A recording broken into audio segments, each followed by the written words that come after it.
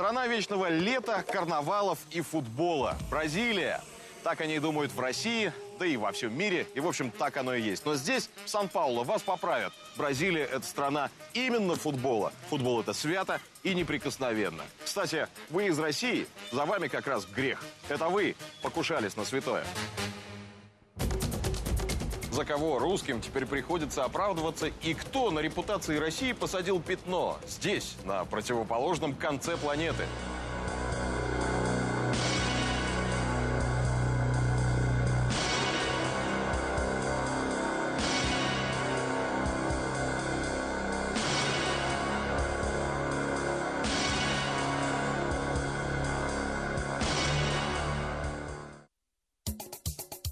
Махачкала. Здешняя барахолка как привет из советского прошлого. Купить можно все, разве что исчез всесильный ОБХСС, отдел по борьбе с хищениями социалистической собственности. Именно ОБХСС, сам о том не ведая, внес однажды этот рынок в историю. Теперь махачкалинская толкучка фигурирует в книгах солидных кремлевских исследователей, вроде Николая Зиньковича.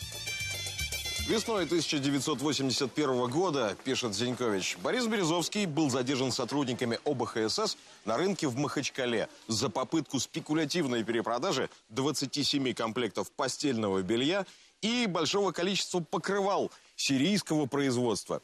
Получается, что будущий олигарх по пути к нефти, большим деньгам и революциям шел мелкими шажками форцовщика и начинал здесь, в Махачкале, с простыней и наволочек.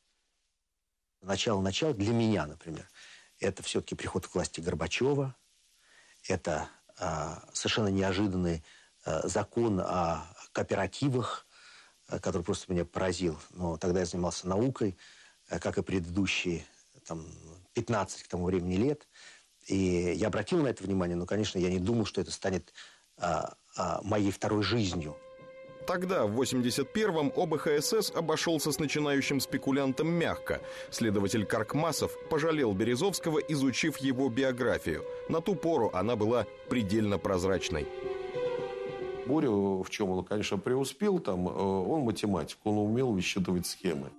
Березовский защитил кандидатскую диссертацию по теме «Многокритериальная оптимизация» и уже писал докторскую по оптимизации решений – Офицер Каркмасов оптимизатора отпустил, а заведенное дело отправил в архив. Много лет спустя, когда сердобольный следователь попытался найти Бориса Березовского, тогда уже всесильного олигарха, и заглянул в архивы МВД и КГБ, он не нашел там ничего. Видимо, оптимизировав свой статус и став заместителем секретаря Совета Безопасности, Березовский подчистил свою биографию. События 91 года, они показали, что первыми на штурм Лубянки рванули те, на которых материалов было более чем достаточно. На кого материалов было вот так. Разумеется, Махачкала была невинной шалостью на фоне всего прочего, что имелось в ФСБ на Березовского, вспоминает генерал Михайлов. Иначе зачем от Совбеза пришли бы люди штурмовать архивы? У нас были материалы на его конкурентов, у нас были материалы на его бизнес, у нас были материалы на его контакты э, с э, боевиками и бандитами. У нас были материалы по его финансовым махинациям и так далее, и так далее. Влиятельные люди на Кавказе, с которыми у Березовского было так много потом связано, могли быть тоже из молодости. Работая в НИИ, вспоминают некоторые его знакомые, он еще в конце 80-х организовал некий кооператив по написанию диссертаций для уважаемых людей с Кавказа. Соискателей в одной Махачкале было столько, что под одеяльниками уже можно было не торговать. Когда вот мне лично достался, если можно так сказать, Борис Абрамович, он был тогда просто рядовым спекулянтом. Вы знаете вообще, с чего начинал Березовский-то? Вот мы один раз его так интересно от колхозников, когда он продал комбикорма, э, какой-то вот бытический район, куриная фабрика, там все куры сдохли. Березовский, еще не подозревая о случившейся колхозной трагедии, на пару с Сергеем Соколовым повезли на ферму новую партию суперкорма, собираясь забрать деньги за старую. К их счастью, колхозная дорога была такой, что они побоялись застрять на своей старой «Волге» и решили часть пути пройти пешком. Двинулись и тут началось. Вдруг они увидели, что от фермы бегут люди с вилами. И они вдвоем с Березовским драпали, значит, на этой машине. И вот как за Паниковским гнались через вот эти грядки, за ним гнались абсолютно реально колхозники. Мы вот тогда, я помню, посадили в автомобиль и быстренько увезли. Вот, вот такие были истории. Что он говорил в пути? Я думаю, телевидение не пропустит тех слов. Вы запикаете их все равно. Я пришел к выводу, что бизнес – это не обязательно то, что связано с твоей непосредственной профессией, а бизнес – это а, то, на что есть спрос. Примечательно, что научные труды Березовского он писал как будто для себя, и потом, внедряя их в своей жизни, доводил все до вершин. Так, поработав в НИИ заведующим лабораторией, он в 91 году уже член-корреспондент Академии наук. Дружба с боевиками подарит им целый хасавюртовский мир, а бизнес на сирийских покрывалах и кормах для птиц станет ступенькой к миллиардам долларов. Несмотря на все то, что я знаю сейчас о нем, я все равно не могу избавиться от впечатления о Борисе Абрамовиче как о человеке скорее комичном, нежели угрожающим и трагичным. Да? Он производил впечатление вот именно Акакия Акакевича. Такой, знаете, э, жалкий человек с вечным портфелем под мышкой. Из этого портфеля постоянно что-то вываливалось. Он постоянно разговаривал по двум телефонам. Тогда мобильные телефоны были большие, такие Моторолы. Да? И вот у него было две Моторолы, по которым он беспрестанно разговаривал. В этот момент Березовский еще не олигарх, еще не вершит судьбы, о нем еще не пишут книги. Но до этого остается немного. 90-е в России были временем вообще динамичным, а в случае с Березовским особенно. Огромный путь от колхозников, которые чуть не насадили его на вилы, до высочайших чиновников Кремля он прошел за какую-то пару-тройку лет. Деньги и собственность росли в геометрической прогрессии. Я, собственно, а, в 89 году понял, что есть а, помимо науки то, что меня очень интересует, а, и название этому предпринимательство, то есть такая колоссальная возможность для самореализации. Франция. Лазурный берег. Мыс Антип. Дворец Шато де ля Гаруб. Конечно же, все знают, что там живет Борис Березовский, о котором очень мало известно. Журналист Бруно Абрий стал настоящим олигарховедом во Франции. Он знает всю собственность Березовского на Лазурном берегу, и кое-что мы разглядываем вместе из вертолета. Просто все, что покупал Березовский и другие русские олигархи, это не просто замки, объясняет Бруно Абрий. Это французская история, и французам не безразлично, кто ею сегодня владеет. А владеть могут единицы в мире. Это ведь Антип. Антипский мыс среди самых дорогих в мире адресов. У Березовского, судя по всему, есть собственность на мысе Мартен. Кабдай, если точнее которая оценивается в 120 миллионов. А вот Шато де ла Гаруб он в свое время приобрел недорого. За 22 миллиона евро. Территория на мысе Антип размером в несколько гектаров с личным пляжем и собственным пирсом за 22 миллиона евро – это сегодня не былица для агентств недвижимости. Цены давно другие, и даже в кризис на Антибе они только растут. Говорили, что большинством выгодных сделок Березовский был обязан Бадре Патракацишвили. У того было просто чутье на деньги. Он был правой рукой Березовского с самого начала 90-х. Они практически ходили вдвоем как шерсть сумасшедший. Бадри был как бы подчиненным, потому что Березовский уточнял вопросы, тут же говорит, Бадри, это надо, Бадри, сделай, Бадри, деньги там передай. Вот так. Это потом уже, через сколько-то лет, э, они так уравнялись, стали там, и, по, и по капиталам, и по политическому весу, может быть. Но его все время вот к сожалению, его сносило все время криминалом. А ему всегда хотелось вот этой вот блатной жизни там. Считается, что именно Бадри Патракацишвили обеспечивал Березовскому коммуникации с криминалом. С учетом того, что большинство воров в законе в России были грузины, у Патракацишвили это получалось неплохо. Бадри, похоже, был незаменим и в банальном выбивании долгов. У него была бригада из вот таких людей, которые посещали должников Березовского. Бадри ставил задачу и требовал результата. Какими методами это все будет достигаться? Это, то есть там не чурались ничего. Он звонил Березовскому, и они там советовались. И потом выдавали мне задачу. Выбить деньги, мои люди. Поговорили, побили. И через неделю он принес деньги. Трудно предполагать, что теми же методами Березовскому достался и замок Шато де ля Гаруб. Однако, по слухам, Борис Абрамович его даже не покупал. Он достался ему как раз за долги. И за долги же Березовский его сам чуть не лишился, когда во дворец грянули жандармы с облавой. Одновременно обыски прошли и на яхте Бориса Березовского, которая и сейчас стоит здесь, в порту. В феврале 2011 года был наложен арест на нее и на произведения искусства, которые находились на борту.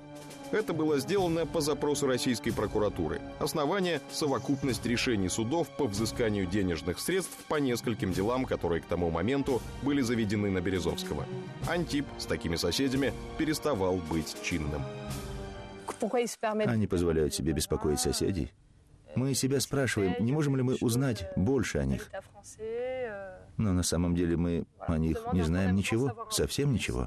Мы даже не знаем, кто его жена, возмущаются французские дамы, становясь хоть в чем-то похожими на любопытных соседок в России. Ленка, вот он последняя жена, она была, но она же действительно красивая девчонка, умная, очень привлекательная, сексапильная, все там. Ну, что еще нужно? Вот история о дамах сердца Березовского, которую с удовольствием обсудили бы его соседки на мысе Антип. Я видел некоторых девчонок таких, ну, смешные, конечно. Была такая 17-летняя девочка, звали ее Мариана. Она была любовницей Березовского. Он ее очень любил, она из глубинки, из Кемерово. Ну, она тоже смешная девчонка. Такая вот, абсолютно музыка отсутствует. Потом э, ну, она миленькая, но я не могу сказать там. А Боря все время бегал, говорил, она такая креативная. Ты присмотрись. Я говорю, да чем мне присматриваться к ней? Это ребенок. Борис Березовский обратил внимание на Марианну, когда ей было 14, рассказывает Сергей Соколов. И эта история могла бы быть любопытной уже для правоохранительных органов. Провинциальная школьница поначалу ответила взаимностью, но очень быстро заскучала. Когда Борис Абрамович уезжал за границу, она сбегала сюда, в Москву от него. Ну, приезжала в Москву и здесь э, проводила время.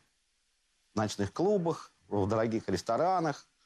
Э, вот. Э, и Березовский поставил задачу ее вернуть. Любыми способами. К нему за границу туда. Потому что он ее любил. И без нее и ревновал. Были основания для ревности у него. Некто Александр Аганезов такой, ресторатор – был, были проведены, э, произведены, так сказать, акции определенные. То есть была сожжена машина у Аганезова. Была избита сама Марианна вместе со своей подружкой Нелидовой в ресторане у этого Аганезова на Тверской улице. Э, отправил я людей в Кемерово. Они испугали очень сильно ее родителей. Мама даже в больнице оказалась после этого. Вот. Ну и в конце концов она была вынуждена уехать. Сегодня Марианна живет на Гоа. Нам удалось снять ее издалека. Ближе не подпускает ее новый покровитель, которому она досталась в ходе каких-то сложных взаимозачетов. На Гоа его все боятся. Она же даже в 14 лет-то понимает, что она делает. Мама же говорила, что это нехорошо. О 14-летней Марианне в свое время знали все, в том числе и правоохранительные органы. Но стоит ли удивляться, что за развращение малолетних даже не было заведено дело, когда на глазах происходили манипуляции в рамках целой страны, и как их квалифицировать никто даже не знал. Манеж. Именно здесь продавали и меняли на ваучеры акции ОАО Автомобильный Всероссийский Альянс. АВВА, если сокращенно. Было объявлено, что на деньги акционеров АВВА создаст мечту. Надежный, комфортный и экономичный народный автомобиль. В декабре 93-го в Манеже выставили опытные образцы. Обалдевший народ не верил своим глазам. Настоящие машины, без всякой очереди. Покупай акции и владей. Я даже тоже э, где-то были, но, к сожалению, я в архивах не нашел их. Он мне подарил на день рождения у меня тут такие типа облигаций. Он – это, естественно, Борис Березовский. Человек в думах о народе, родивший идею народного автомобиля. Предложил э, начать строить в России рынок э, продажи автомобилей. цивилизованный рынок. Предложил, пробил у Ельцина разрешение на ее реализацию, подключил средства массовой информации, и процесс даже не пошел, закипел. Эти акции будут обеспечивать высокий уровень дивидендов на уровне 20-30% в валюте. Люди вкладывали в народный автомобиль последнее, покупали акции и уже видели свое счастье на экранах страны. Рекламный ролик Аввы, снятый на Западе, завораживал. Ельцин, как и потом, много лет спустя, будет еще долго доверять Березовскому. Это вопрос непростой. Борис Абрамович хорошо его знает, занимался, да сейчас занимается так между делом. Так что у меня оптимизм все-таки есть, что мы э, не провалимся. Но тогда с Аввой, дальше обещаний Березовского, дело так и не пошло. Просто обман э, самый, что называется, элементарный. Э, сбор денег на так называемый народный автомобиль. Собрали 20 миллионов. Потом говорят, а у нас ничего не получилось, денег не хватает. И все это, значит, рассыпается. Березовского посуд! Березовского посуд! Эта пирамида была Ава. Там, в принципе, все было рассчитано вот как обыкновенная математическая пирамида. Никто, конечно, не собирался ничего делать. Нужно было собрать деньги. Насобирали там кучу денег, вкачали туда еще бюджетные деньги, помимо всего. Там же помимо народных же денег огромное количество бюджетных было денег. Вероятно, это был тот самый случай, когда доктор физико-математических наук впервые внедрил в жизнь свою диссертацию по теории оптимальных решений и принял решение предельно оптимальное. Пирамида. Красивая снаружи, прибыльная внутри. Автомобиль «Жигули», э, стоимость автомобиля «Жигули» равнялась стоимости однокомнатной квартиры. Бизнес продолжался, пока люди верили и несли свои деньги. Когда поняли, что народный автомобиль дутый, было уже поздно.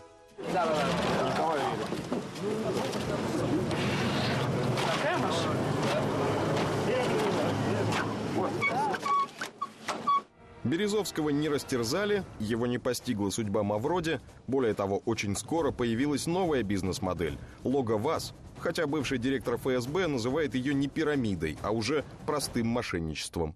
Логоваз – это еще одна афера, э, причем достаточно элементарная. Как вы помните, у нас в стране Машины «Жигули» стоили на тот период, ну, в среднем, да, будем там, в зависимости от модели, говорит, э, говорит порядка 7 э, тысяч долларов. А за рубежом, когда мы поставляли э, туда, да, за рубеж, 2-3 тысячи долларов. Причина такой разницы проста. «Жигули», или, как их называли в экспортном варианте «Лада», никогда не были продуктом конкурентоспособным. Но продавать их хотелось, так как была нужна валюта. Вот и предлагались они за рубежом по бросовым ценам. Так вот, за счет вот этой разницы по документам проходило якобы не реализовано там за рубежом за 2-3 тысячи, а на самом деле реализовывались здесь э, по 7 тысяч. Вот разница, которая элементарно плылась в карман организаторов этого самого логоваза. То есть в карман профессора Березовского, считает Ковалев. АвтоВАЗ беднел, Логоваз богател. В итоге Березовский вскоре стал контролировать примерно 10% всех продаж «Жигулей» в стране. В 1992 году оборот его фирмы составил 250 миллионов долларов. Это были первые деньги, которые мы заработали. В то время огромные деньги, это, это, это были миллионы рублей. Многие сотрудники спецслужб, в том числе и сам директор ФСБ Николай Ковалев, писали тонны служебных записок. Результат был ноль. Правительство пишешь об этом, что прямой ущерб от деятельности вот подобного рода фирмы. Ответ. Нарушение российского законодательства не выявлено. Вот два заявления Березовского о законе и бизнесе, которые разделяют всего несколько лет. Бизнес – это умение зарабатывать деньги законным образом. И чуть позже о том же самом. Я утверждаю, что все те, кто последние 10 лет не спал на печке, занимался бизнесом, занимался политикой, все без а, единого исключения нарушали закон, зная об этом или не зная. Зная или не зная о том, что нарушает закон, Березовский продолжал богатеть беспрепятственно. По некоторым оценкам, в первой половине 90-х годов одних только квартир и зданий в Москве и Петербурге Логоваз приобрел на 300 миллионов долларов. Кое-что из исторической застройки прикупили и под собственный дом приемов. Особняк на улице Новокузнецкой в центре Москвы. Исторический дом Смирнова. Сегодня это ресторан, название которого Березовскому явно теперь ласкает слух. Революция. Хотя в 90-х олигарх был как раз против революции. Здесь располагался тот самый дом приемов Логоваза. Место, без всякого сомнения. Второе по значимости после Кремля. Здесь вершились судьбы людей, а подчас и всей России. Итак, это главный вход. Да? да, это вот самый главный вход был. Сюда заходила в то время вся партийные элиты, и бизнесмены, и бандиты. Кто только сюда не ездил, на Новокузнецкую. В доме приемов Логоваза бывали ведущие мировые политики и бизнесмены. Медиамагнат Руперт Мердок, миллиардер Джордж Сорос, отечественные олигархи Авен, Фридман, Гусинский, Виноградов, Смоленский. Самые высокие чиновники – Коржаков, Сосковец, Барсуков, Черномырдин. Считалось все, кроме Ельцина, хотя теперь выясняется, что и он тоже – Здесь реально был Ельцин, действительно, да? Ну да, один или два раза здесь был. Естественно, здесь ни одного постороннего человека не было. А машина заезжала, вылетала, так сказать, открывались ворота заранее, улица перегораживалась с той и с той стороны, вылетала машина, все, ворота закрывались и тишина. Но Кремль-2, как тогда Березовский гордо называл свой дом приемов, хранил секреты визитов не только политической элиты, но и самых что ни на есть ее врагов все абсолютно полевые командиры. И Хотите сказать, что здесь Басаев был? Да. И Радуев? И Радуев был, и Закаев был, и другие. Здесь, здесь же вообще клоунада было. Здесь, э, не буду называть фамилию, вот, с бородой, в шапке, со Стечкиным. И носится вот здесь. И, естественно, когда гражданские гости приезжали, они были в шоке. А Боре это нравилось. Вот этот адреналин ему казалось, что это, ну, это очень креативно. Ему нравился Грымов без шнурков на полу, так сказать. А, и э, чеченские эти хабиты. Ну и девочки 14-летние. Потом... А что это была страсть какая-то, Борис Абрамович? Нет, это вот это обыкновенная вседозволенность. Здесь вот вся эта семибанкирщина, их вот у них было, было одно. Деньги, э, девочки там, значит, ну, кому мальчики, кому девочки, тут, так сказать, на выбор. Вот. И все их, это их объединяло. Это их объединяло. Но крепче всего объединяло все же другое – власть. Здесь все знали и были довольны тем, что если официальные документы подписываются в Кремле или в Доме правительства, то теневые решения, задающие сам вектор всей политики страны, принимаются здесь, в Доме приема флаговаза у Березовского. Здесь мог быть назначен министр внутренних дел. Здесь происходили все правительственные назначения. Принимались все правительственные решения. Но это все уже ближе к концу 90-х, а в начале Березовский еще даже не мечтал ни о чем подобном. Я помню его с, приблизительно так, с 94 -го года, ну, собственно, когда я пришла в администрацию президента, и уже Березовский он был. Но был он э, как-то вот больше в коридоре и в приемной. В высокие кабинеты Бориса Абрамовича в ту пору особо не пускали. Он часами просиживал в приемных больших начальников, но даже это оборачивало в свою пользу. За сувенир секретарю или адъютанту он умудрялся получать в распоряжение заветные вертушки, телефоны правительственной связи – если человек звонит по ТС-1, это значит, что этот человек находится где-то на Олимпе, у кого-то вот совсем-совсем. Вот Березовский проникал к этой вертушке ТС-1, звонил, начинал быстро. Здравствуйте, это Березовский. Я, я, я вот сейчас вот у кто, Коржакова, я вот хотел сказать, и у человека на том конце провода совершенно точно возникало ощущение, что, ну, слушайте, человек звонит от Коржаковой.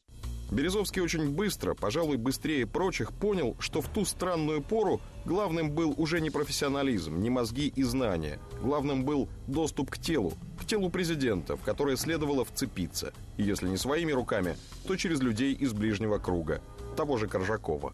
Коржаков выходил, кого-то провожал. В этот момент Борис Абрамович, он так вот лапками такими своими маленькими тут же вцеплялся в рукав и начал что-то быстро-быстро-быстро говорить. А надо сказать, что говорил он завораживающе. Многие до сих пор признаются, что речь Березовского была как гипноз. И слушая его, хотелось совсем соглашаться. Настолько он умел убедить в своей правоте.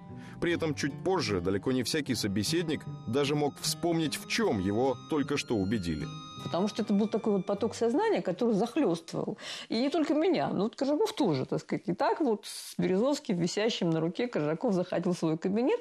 Он приходил по пустяковому вопросу и начинал сказки, что Васильевич, я вот ждал, ждал, вот, проголодался, и утром не, не завтракал, ничего. И вот здесь шла в ход теорема, или даже инструмент под названием «чай». Борис Абрамович был неубиенный прием, просто неубиенный. Я бы его советовала молодым начинающим бюрократам, так сказать, карьеристам взять на, на, на вооружение.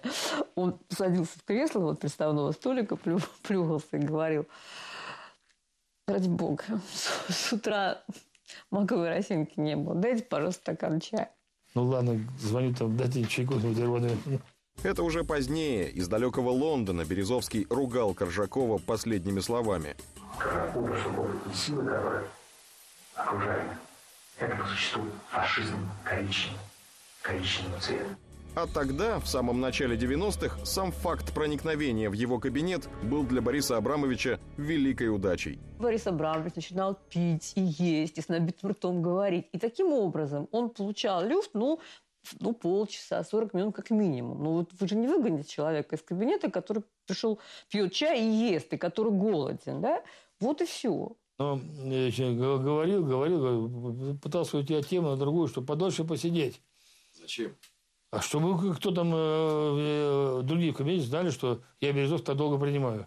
Еще несут бутерброды. А там, значит, еще, может, коньячку налью ему. То есть даже ну, вот это все использовалось на... А только для, для своего имиджа. В заключение анекдот есть. Э, в чем различие между англичанином и евреем? Англичанин уходит, не прощаясь, а еврей прощается и не уходит.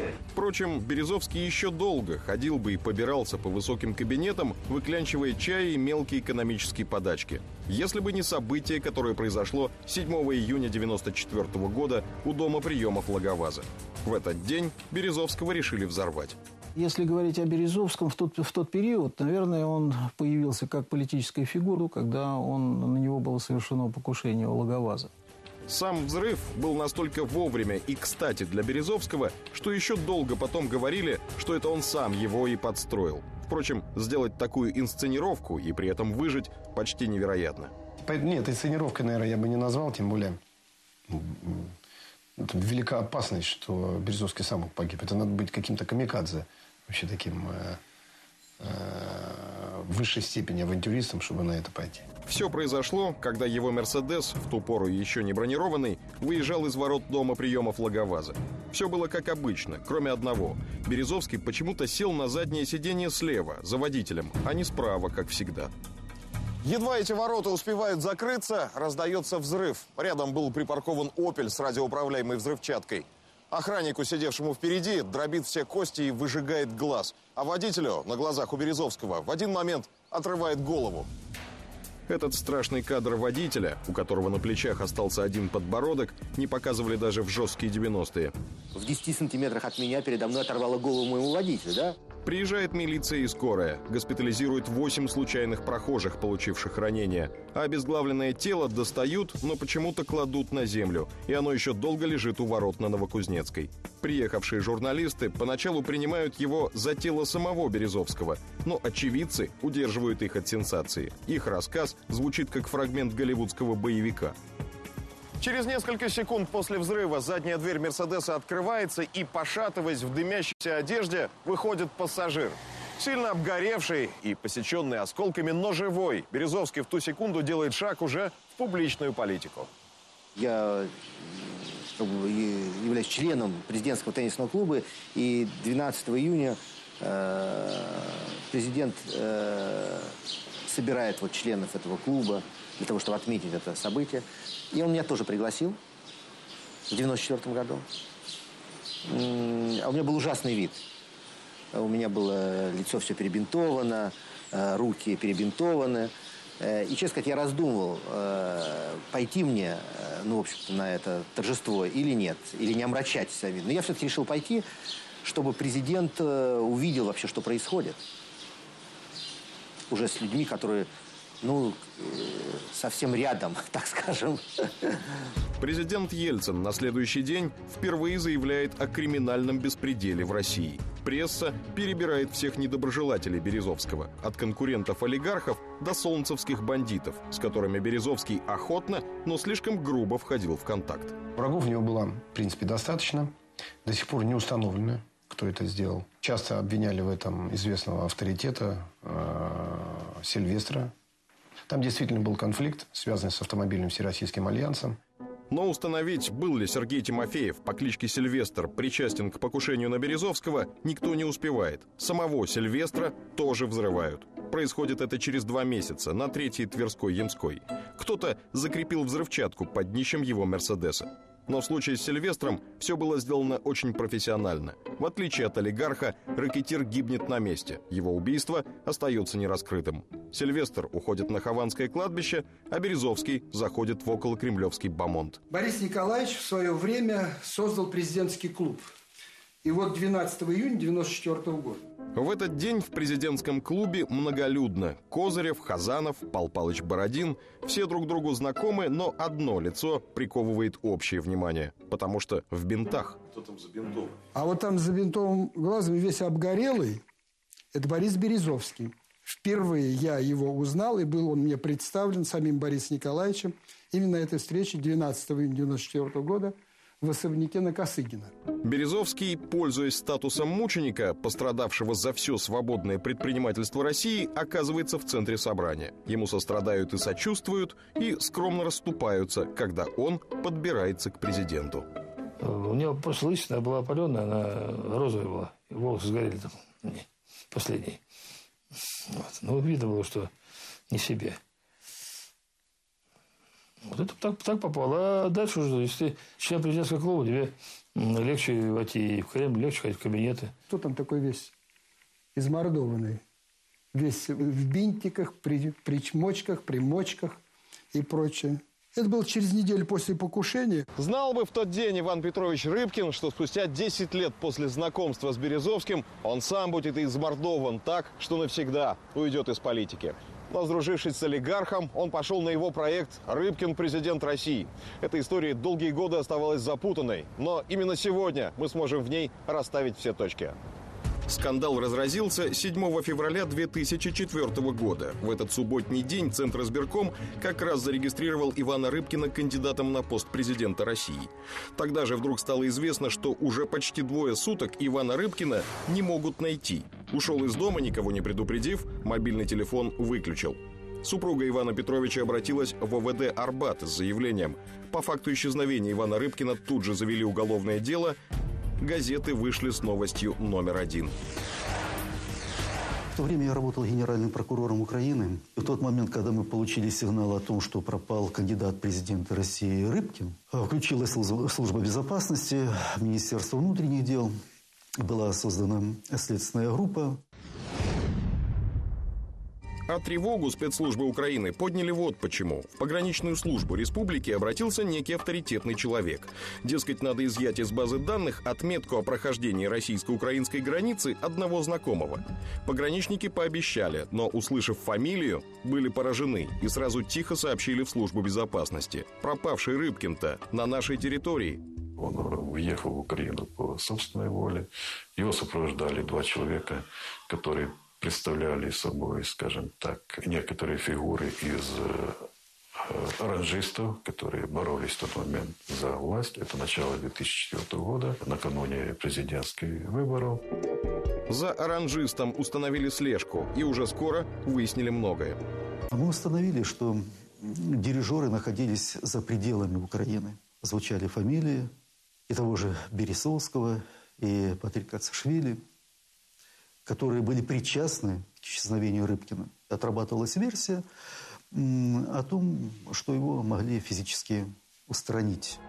План, очевидно и правда, был жесткий. В телефонном разговоре, который вел Борис Березовский с одним из украинских участников операции Давидом Жванией, он называет кого-то «девушкой».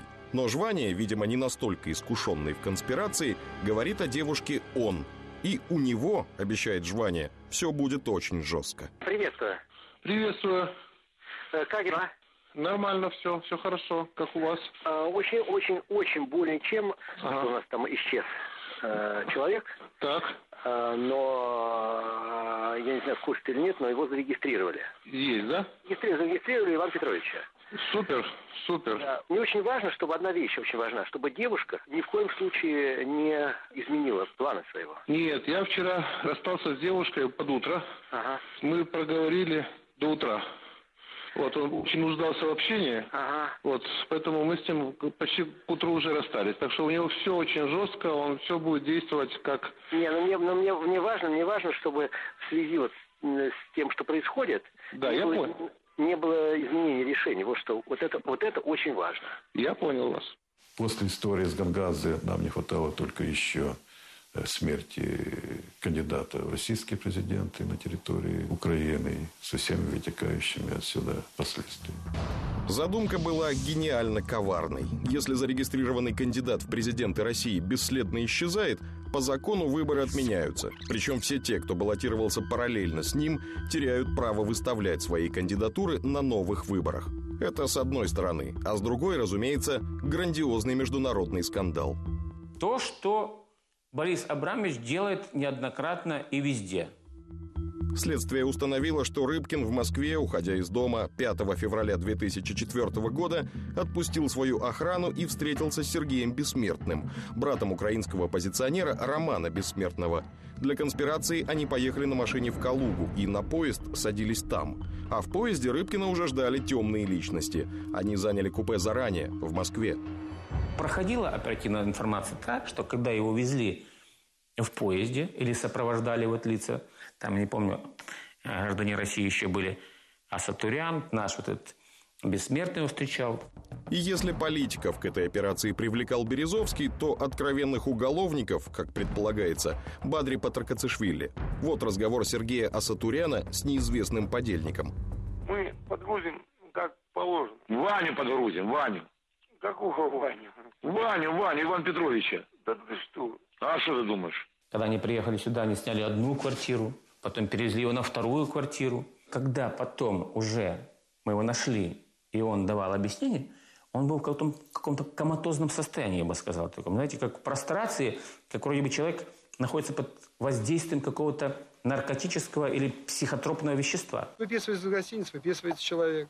Я еду в аэропорт, человек едет в аэропорт. Я беру билет прямого самолета в Москву, нет, до определенного города. Он прилетает туда.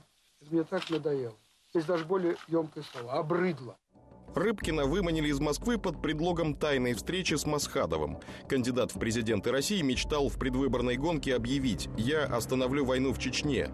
Эта встреча по надуманным мотивам, предлогам постоянно откладывалась.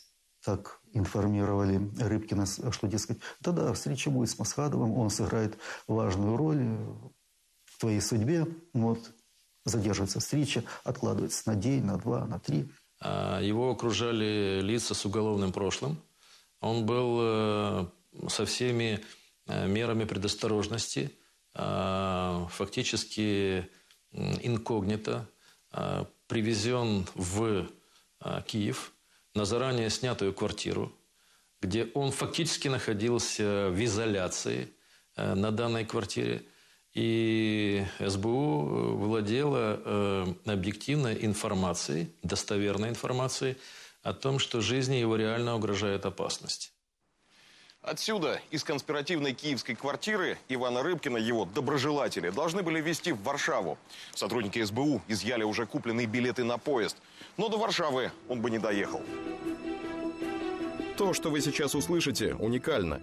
Впервые с февраля 2004 года, когда было совершено похищение Ивана Рыбкина, тогдашний руководитель службы безопасности Украины Игорь Смешко впервые решает приподнять занавес секретности над теми событиями. Факты ошеломляют.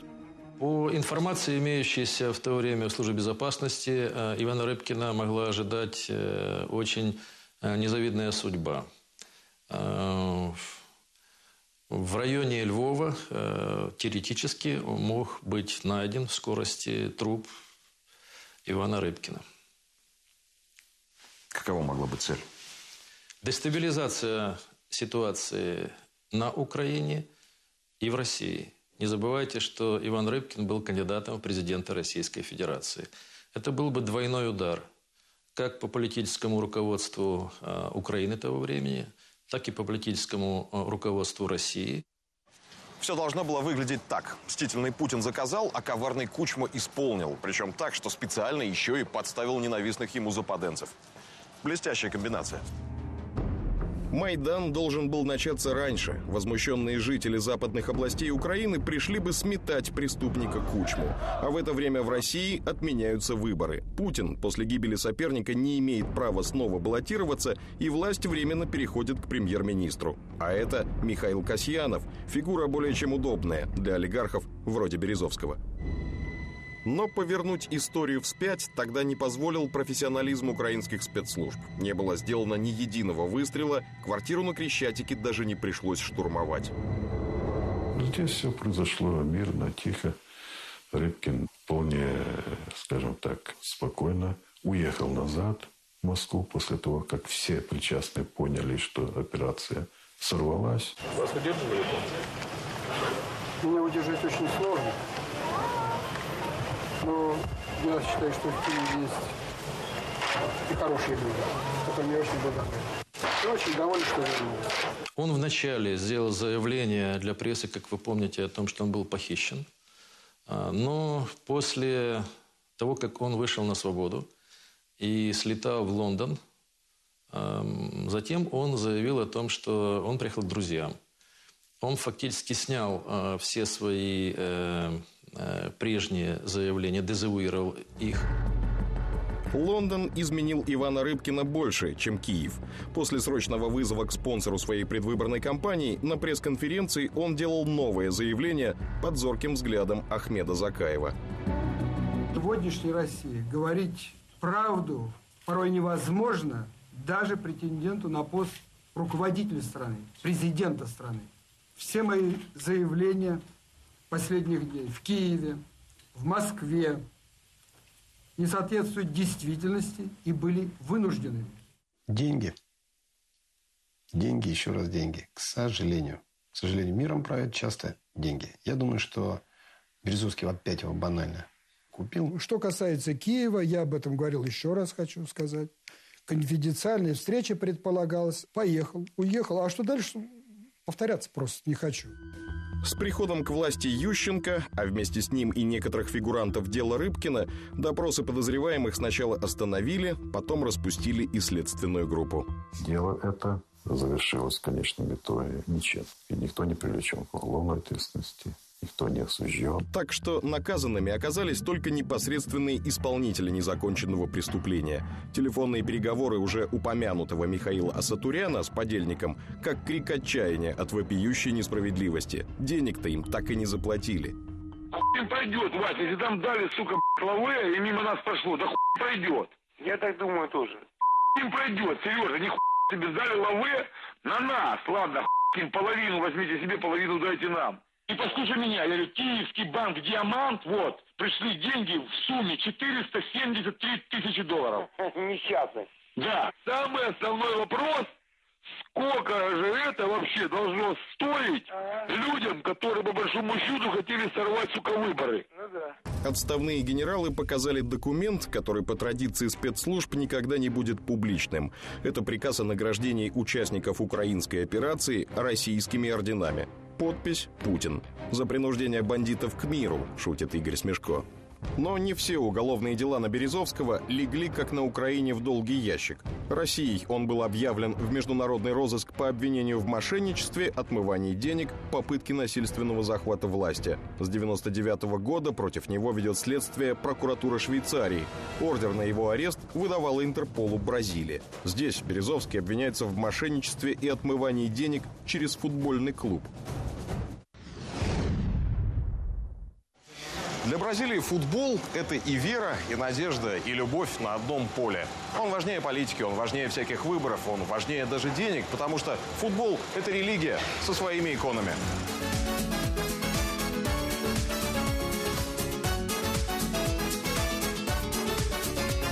И одна из самых почитаемых икон, вот она, это клуб «Коринтианс». На него молятся 30 миллионов фанатов.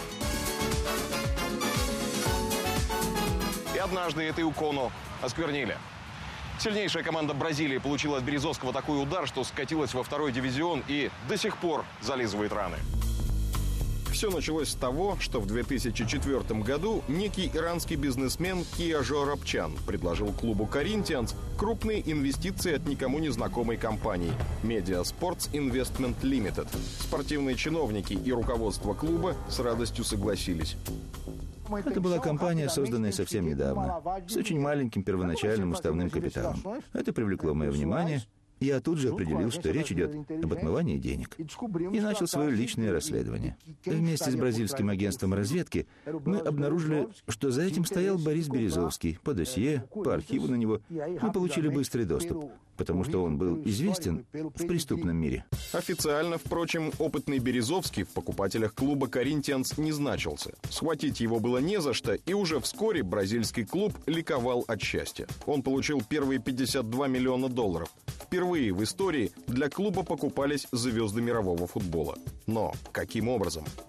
Когда переговорщики договаривались о цене, и сделка проводилась, и всегда наличными денежными средствами, и, безусловно, совершалась всегда за пределами официальной отчетности, это наводило на большое подозрение. Подозрения подтвердились фактами. Чемоданов с долларами было значительно больше, чем стоили звездные игроки. У Бориса был большой капитал. Он и сейчас обладает большим капиталом. И это деньги, отнятые у русского народа, которые нужно направить в европейскую экономику официальным путем. И таким путем стала операция по отмыванию денег. И была найдена форма, как это сделать, через инвестиции футбольных игроков.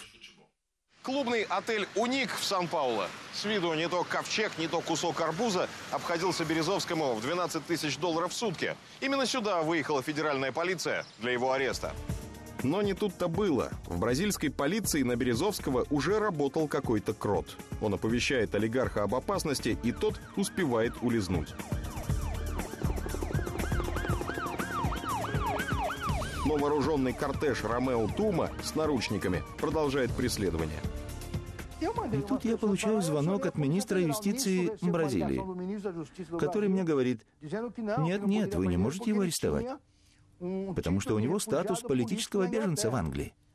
Постойте, у него статус политического беженца в Англии, а не в Бразилии. А здесь он находится в международном розыске.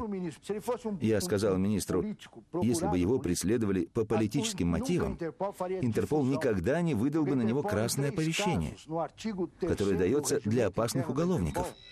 Все уже было слишком запущено. Березовский к тому времени пообещал высоким чиновникам Бразилии инвестировать миллиард в экономику страны. Он построит газопроводы, порты и заводы для производства этанола, а еще купит местную авиакомпанию. Сирены полиции в Сан-Паулу его уже почти не пугали. В этот момент Березовский, вероятно, разглядывая самый крупный город Южной Америки с высоты последних этажей, уже знал, что он купит не эти здания, не порт, не авиакомпанию, не футбольный клуб – он купит крышу. Наивные бразильцы даже слова такого не знают, но им предлагалось поиграть в Россию 90-х. Гоняясь за Березовским, потомственный полицейский Ромео Тума до звонков из правительства искренне не понимал, что происходит.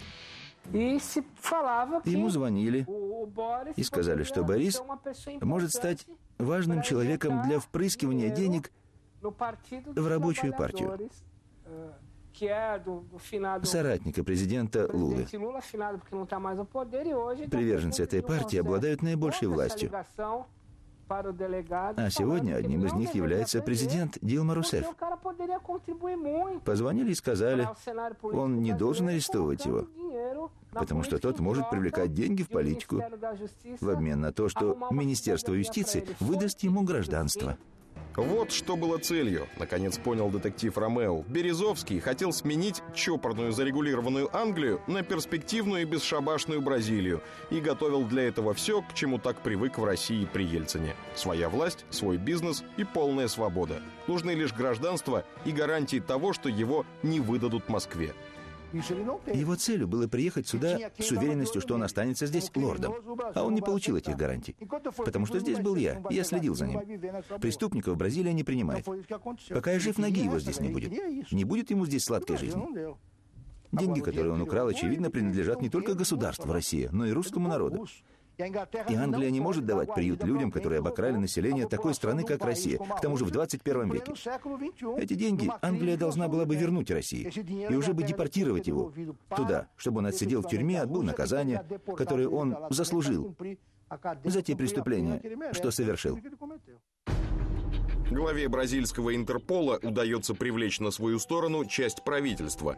Он едва не устраивает политический раскол, но добивается санкций. Вот кадры с камеры наблюдения в аэропорту Сан-Паулу. Допрос Березовского продолжался 8 часов. У него изъяли ноутбук, различные документы. Нашли кое-что, после чего бразильское гражданство Березовскому уже не светило.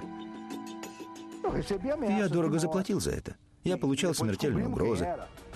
После отъезда Березовского из Бразилии клуб буквально загнулся. Финансовые реки прекратились, звезды уехали, из команды бежали даже свои форварды. Такого удара по имиджу клуба не было за всю его вековую историю. Коринтианс остался брошенным. Стал прокаженным. Перешел во второй дивизион и исчез. Это было как если бы Дед Мороз заболел на Новый год. Впоследствии Бразилия приостановила свой ордер на арест Березовского. Многие связывают это с тем, что у власти осталась та же рабочая партия, многим из которой олигарх, видимо, успел сделать приятное. Для всех остальных в Сан-Паулу его имя вслух лучше не произносить. Хотя, если бы Березовский все-таки переехал в Бразилию, местные министры пострадали бы первыми. Им бы наверняка пришлось по очереди ездить в какой-нибудь дом приемов, чтобы согласовывать с ним бразильскую политику. Олигархические лекала-то у Березовского остались от России 90-х, а тогда в дом приемов Лаговаза к нему ездили все. Меня всегда удивляло, когда человек в ранге премьер-министра или там, первого вице-премьера, по-моему, к тебе всегда ездить, либо встречаться надо на нейтральной территории. Чего ехать-то вот в такие места, которые пользуются не очень такой э, хорошей репутацией, где тебя еще и запишут, а потом, если надо, тебя этим же будут шантажировать. Общем, медиатизм какой-то. Сто процентов-то э, делалось. Тем более в бизнес-клубе Логоваза, он, он, он, в принципе, одноэтажный. Но там есть такой флигелек, там был второй этаж, там было две спальни. Но кое-кто из известных и поныне людей появлялся в спальне. Не один. Дом приемов Лаговаза на тот момент был, пожалуй, самым технически совершенным шпионским местом. Встречи здесь фиксировались, разговоры записывались. Я скажу честно, что на тот период техника, которую закупил Березовский за рубежом, превосходила имеющуюся на вооружении э, спецслужб технику. И эти записи становились мощнейшим инструментом воздействия, особенно если гость, очарованный хозяйским радушием, терял тормоза и принимал угощение за угощением. Был специально обученный человек, который и ныне, так сказать, здравствующий, более того, даже ведущий одной из передач на центральном телевидении. Он сутенер по своей сути обыкновенный, он возил сюда шлюх, ему заказывали, так сказать, все тоже для личного употребления. Э, сначала это были э, ну, женщина там 30 лет, э, там 28, потом 25, 20, потом 15-14 лет. Ну, это же практически дети, вы их сами видели. Ну, если я ему так сказал. Я не знаю, я говорю, Боря, я говорю, ну, это отвратительно, мерзостно. Сергей Соколов – человек, которому Березовский неоднократно был обязан жизнью. Он – основатель его личной службы безопасности. Это была не просто охрана. В ней был отдел аналитики, технический, силовой отделы. Соколов не стал изобретать велосипед и за основу для домашней спецслужбы шефа выбрал израильский Моссад. Новейшее оборудование позволяло делать все. Спецы подслушивали и следили даже за семьей Ельцина. Досье копилось на министров, чиновников, бизнесменов. Личный Моссад Березовского только на агентуру тратил ежемесячно 100 тысяч долларов, а в целом на содержание спецслужбы отводилось до полумиллиона долларов в месяц. Просто так в дом приема флаговаза попасть вообще было невозможно. Да и те, кто удостаивался такой чести, могли часами ждать высочайшей аудиенции в отстойниках разного уровня престижности. Тут люди же делились на как бы э, кому-то зеленый свет, кому-то, так сказать, в отстойник. И здесь залы все определялись. Вот ты заходишь и видишь, кто в каком зале сидит, Это и видно, собственно говоря, значительный статус, статус человека, да. Пол Москвы ходила сюда. Ходили же, естественно, за одним, там, устроите на работу, дайте денег. По три часа можно было ждать Бориса Абрамовича, по четыре часа. Борис Абрамович проходил мимо, говорит, ой, э, ты знаешь, я про тебя забыл, там, ну, ничего, давай завтра. И все. То есть никакого там не было там, что неудобно, там человек ждет. Никогда с этим, естественно, никто не считался. Борис Абрамович здесь был абсолютный король. Ну, он и в стране был король, что греха таить. Серж, ты останься здесь. Да. Все, останься здесь.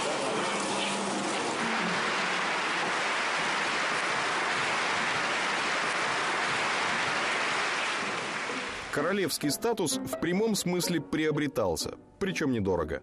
Чиновники, отвечавшие за социалистическую собственность, накопленную народом за 75 лет советской власти, были бедны и алчны. Продавшись за рубль, они предоставляли благодетелям возможности на миллиарды. Самое ужасное, что достаточно было там, я не знаю, ну, повезти человека в Сент-Морец, на лыжах покататься, просто министры, ну, не будем сейчас называть имен, да, А, вот, и...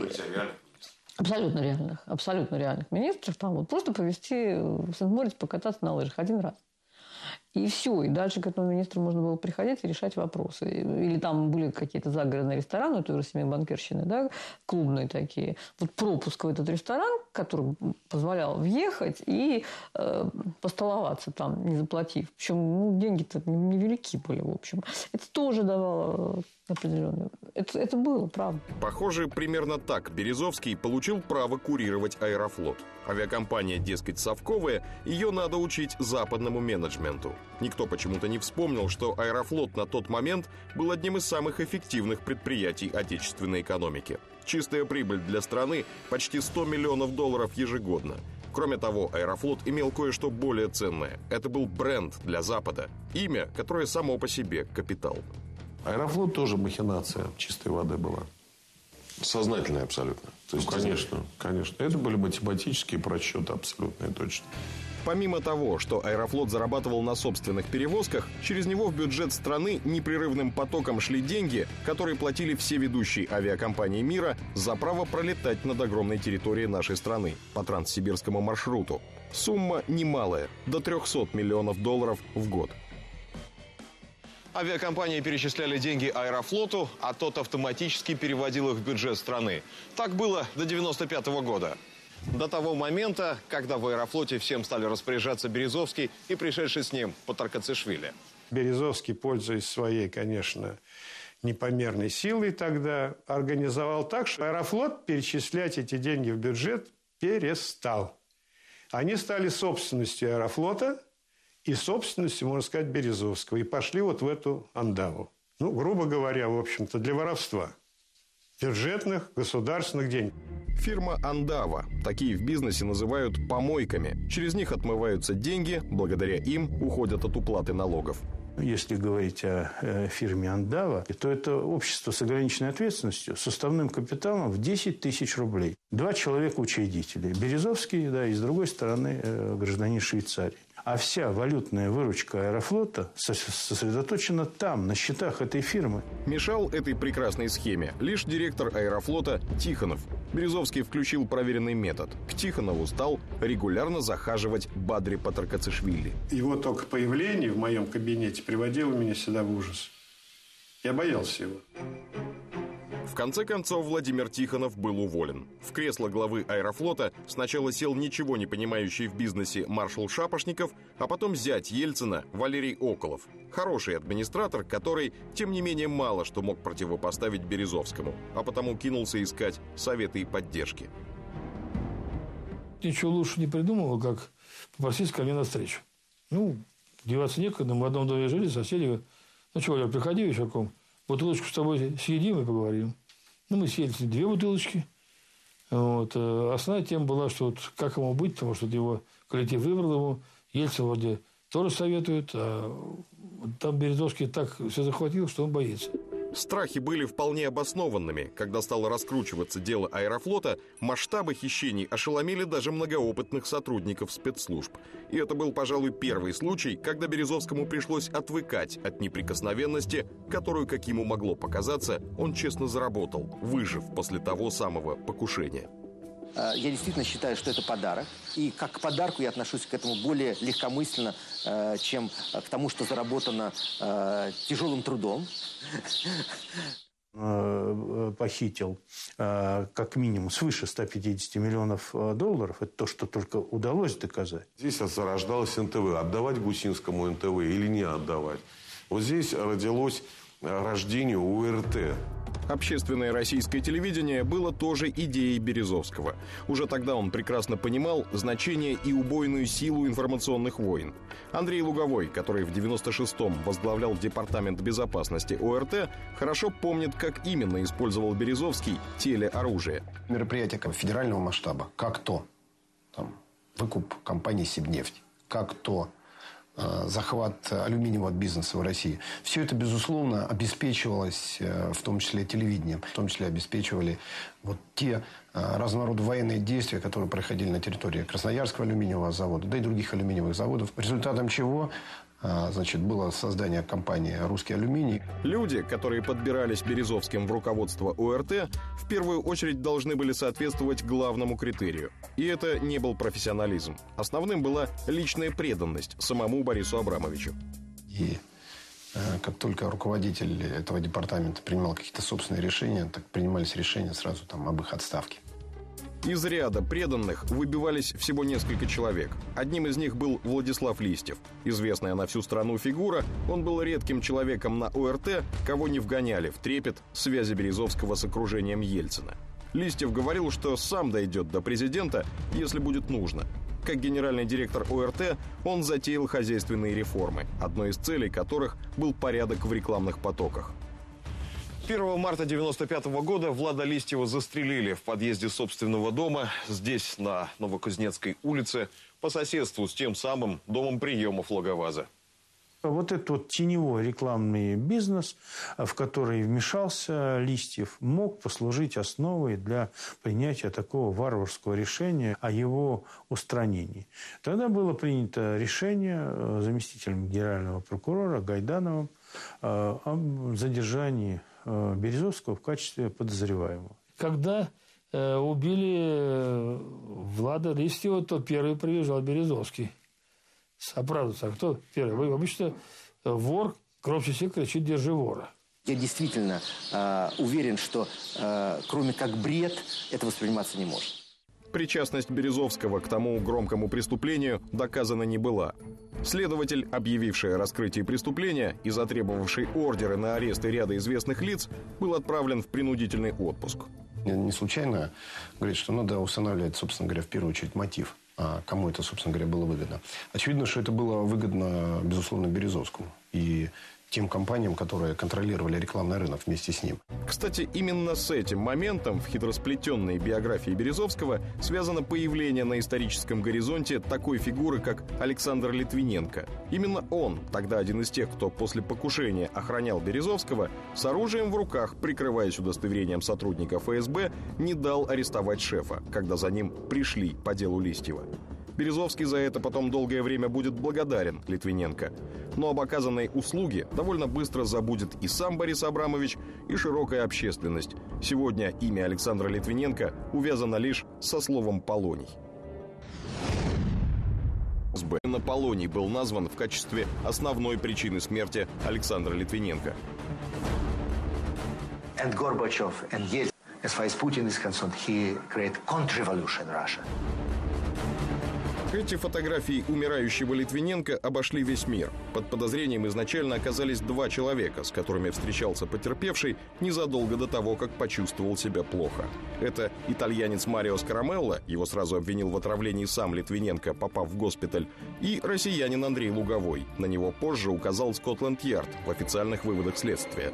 Любому англичанину. Это следы полония, более чем в 30 местах, которые, как считает полиция, тянулись за Александром Литвиненко из гостиницы гостинице «Миллениум» после его встречи 1 ноября с Луговым и двумя его коллегами, включая жителя Гамбурга Кофтуна. В гостинице была найдена загрязненная радиацией чайная чашка, из которой, как предполагает полиция, Литвиненко и выпил отраву. Из 4 миллионов камер слежения по всему Лондону этот момент ни одна камера не зафиксировала.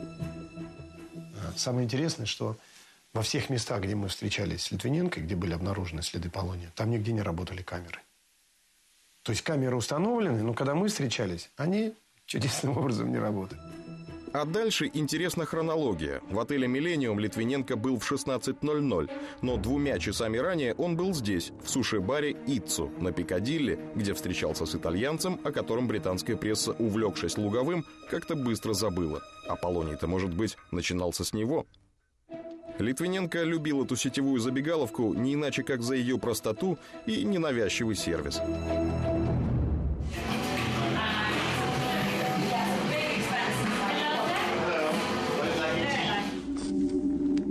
Полное самообслуживание, незатейливые закуски, чай в картонных стаканчиках. Литвиненко, по логике полиции, еще не зараженный полонием, пригласил сюда Марио Скарамеллу, который привез ему из Неаполя какие-то якобы секретные документы. Литвиненко здесь тоже пил чай. И после его смерти здесь, в Иццу, все-таки нашли полоний. Но откуда, если он появился только спустя два часа в отеле Лугового? Следствие ответило. Полоний был найден не за столиком, где сидел Скарамелла, а рядом, где еще раньше Литвиненко встречался опять-таки с Луговым за две недели до Скарамеллы, 16 октября. После этого об итальянце почти забывают. Хотя удивительно, как разобрались в столиках полицейские, когда в этом баре камер наблюдения тоже не было. И сейчас нет. Мы решили отправиться в Италию, чтобы встретиться с Марио Скарамеллой. После скандала с Полонием он крайне редко давал интервью, но с нами согласился встретиться, так как, по его словам, и сам желает найти истину. Это мои апартаменты. Хочу заметить вам, что Литвиненко никогда здесь не бывал. Профессор Скарамелло говорит, что полониевый скандал перевернул всю его жизнь. После того, как Литвиненко обвинил его в отравлении, в итальянском офисе юриста начались обыски. Это ударило по репутации Скарамеллы, у него сорвался ряд дел, которые он вел как адвокат. Без доказательств мне было выдвинуто обвинение, и ко мне были применены очень жесткие меры пресечения без единого доказательства. Все это результат сверхвнимания к моей персоне, которое началось с фальшивого обвинения со стороны Литвиненко. Как адвокат, я признаю, что стал жертвой клеветы. Я пострадавший от этой клеветы. Да. Но я не обвиняю Литвиненко. Могу себе представить его положение. После смерти Литвиненко появляется его предсмертная записка, где в своем отравлении он уже обвиняет Путина и Кремль. Близкие погибшего зачитывают записку публично, и после этого версия о том, что КГБ в лице Лугового уничтожает оппонентов российской власти, становится в западной прессе основной. К чести британских спецслужб, они в это время проверяют все, а не только публичные версии. Неаполитанские карабинеры по просьбе лондонских коллег буквально трясут Скарамеллу, хотя официально считается, что он уезжал из Лондона без всяких следов полония. Сенат республики, суд, государственная школа, где учились мои дети, и где находились тысячи учеников, были эвакуированы и обысканы в поисках полония. Мой дом был осмотрен десятком агентов и пожарных. В поисках полония они даже подняли пол. Каковы результаты проверок? Они засекречены. Почему? Как вы думаете, почему? Почему они держатся в секрете? Не знаю. Знаю, что полиция, судьи обращались с требованием предоставить эти анализы. Пока доступа к ним нет. Мы получили доступ к некоторым секретным документам, где фигурирует место, куда Скарамелло вернулся из Лондона сразу после встречи с Литвиненко. Отель «Эксельсиор» на Капри. Там он снимал апартаменты, работая судьей на острове. Пару дней ждем погоды на море и плывем на Капри. Вообще у дела Литвиненко исключительно респектабельная география. Лондон, Гамбург, Сенегалия. И вот теперь остров мечты в Тиренском море. Здесь когда-то жили Чайковский, Горький, Бунин. Ленин здесь писал труды о мировой революции. И вот теперь спустя сто лет Капри вписан в историю мировой авантюры. И если этот остров – жемчужина Италии, то Эксельсиор – это жемчужина острова. Здесь вряд ли вспомнят всех гостивших голливудских звезд, миллионеров и мировых политиков. Их было слишком много. Предварительно обратившись к управляющему с просьбой о съемках, получаем ответ. Мы рекомендуем вам никогда и ни в коем случае не связывать наш отель с делом Аполлонии. Встречают нас соответствующе. Я запрещаю вам съемку, выключите. Мы вам писали, и я повторяю. Здесь никогда не жил никакой сеньор Скарамелло. Хозяин роскошного отеля, конечно, не мог знать, что у нас есть кое-какие документы с грифом «строго для служебного пользования». Итак, Управление карабинеров по охране окружающей среды. Протокол о проведении оперативных мероприятий в отеле «Эксельсиор Парко Ди Капри» 4 декабря 2006 года. В тот день в апартаменты номер 22 зашли карабинеры, а с ними люди в защитных костюмах и с дозиметрами. Теперь идем туда и мы, снова в сами апартаменты. Но хозяин отеля, закрывшийся в кабинете, вызывает полицию. Теперь карабинеры уже приезжают за нами и собирают паспорта. Или вы отдадите то, что вы сняли, или мы подаем на вас в суд за вторжение в частную собственность. Борьба этой милой девушки за имидж отеля вызывает даже уважение, но документы обескураживают. Скарамелла, Марио. Контрольные мероприятия в отеле. Радиометрический мониторинг внутри номера 22 произведен спецоборудованием прямым способом и косвенным при помощи анализа образцов проживающего. Образцы исследовал сеньор Лучо Беллино, региональный центр радиологии. На 13 фотографиях данные альфа-излучения унитаза, биде, поддона душевой кабины, всего 7 предметов. Пиковые значения присутствия полония-210 показал анализ кала проживающего. Источник заражения по образцам определить невозможно, следует из секретного отчета. Но есть ответ. Марио Скарамелло после встречи с Литвиненко, оказывается, летел в Италию с таким же шлейфом, как и Андрей Луговой в Москву, как и его коллега Андрей Кофтон в Гамбург. То есть все выявленные следы полония ведут из Лондона, а не наоборот. И Скотланд-Ярд об этом знает, но прессе как будто не говорит. Полоний обнаружен на самолете Трансера, который летел из Лондона в Москву. Из Москвы в Лондон. Ничего не обнаружено. Так вы напишите, мы проверили, не обнаружили. Они молчат, они не упоминают это. Если предположить, что источником радиоактивного заражения мог быть сам Литвиненко, то как доказать, что он им стал еще до встреч со Скарамеллой и Луговым? Ведь по заключению Скотланд-Ярда вся эта рождественская подсветка Лондона альфа-излучением выходила из отеля Лугового, не раньше. Удивительно, что английская пресса, азартно перечисляя все места в Лондоне, которые оказались заражены полонием, как-то не заметила один клуб.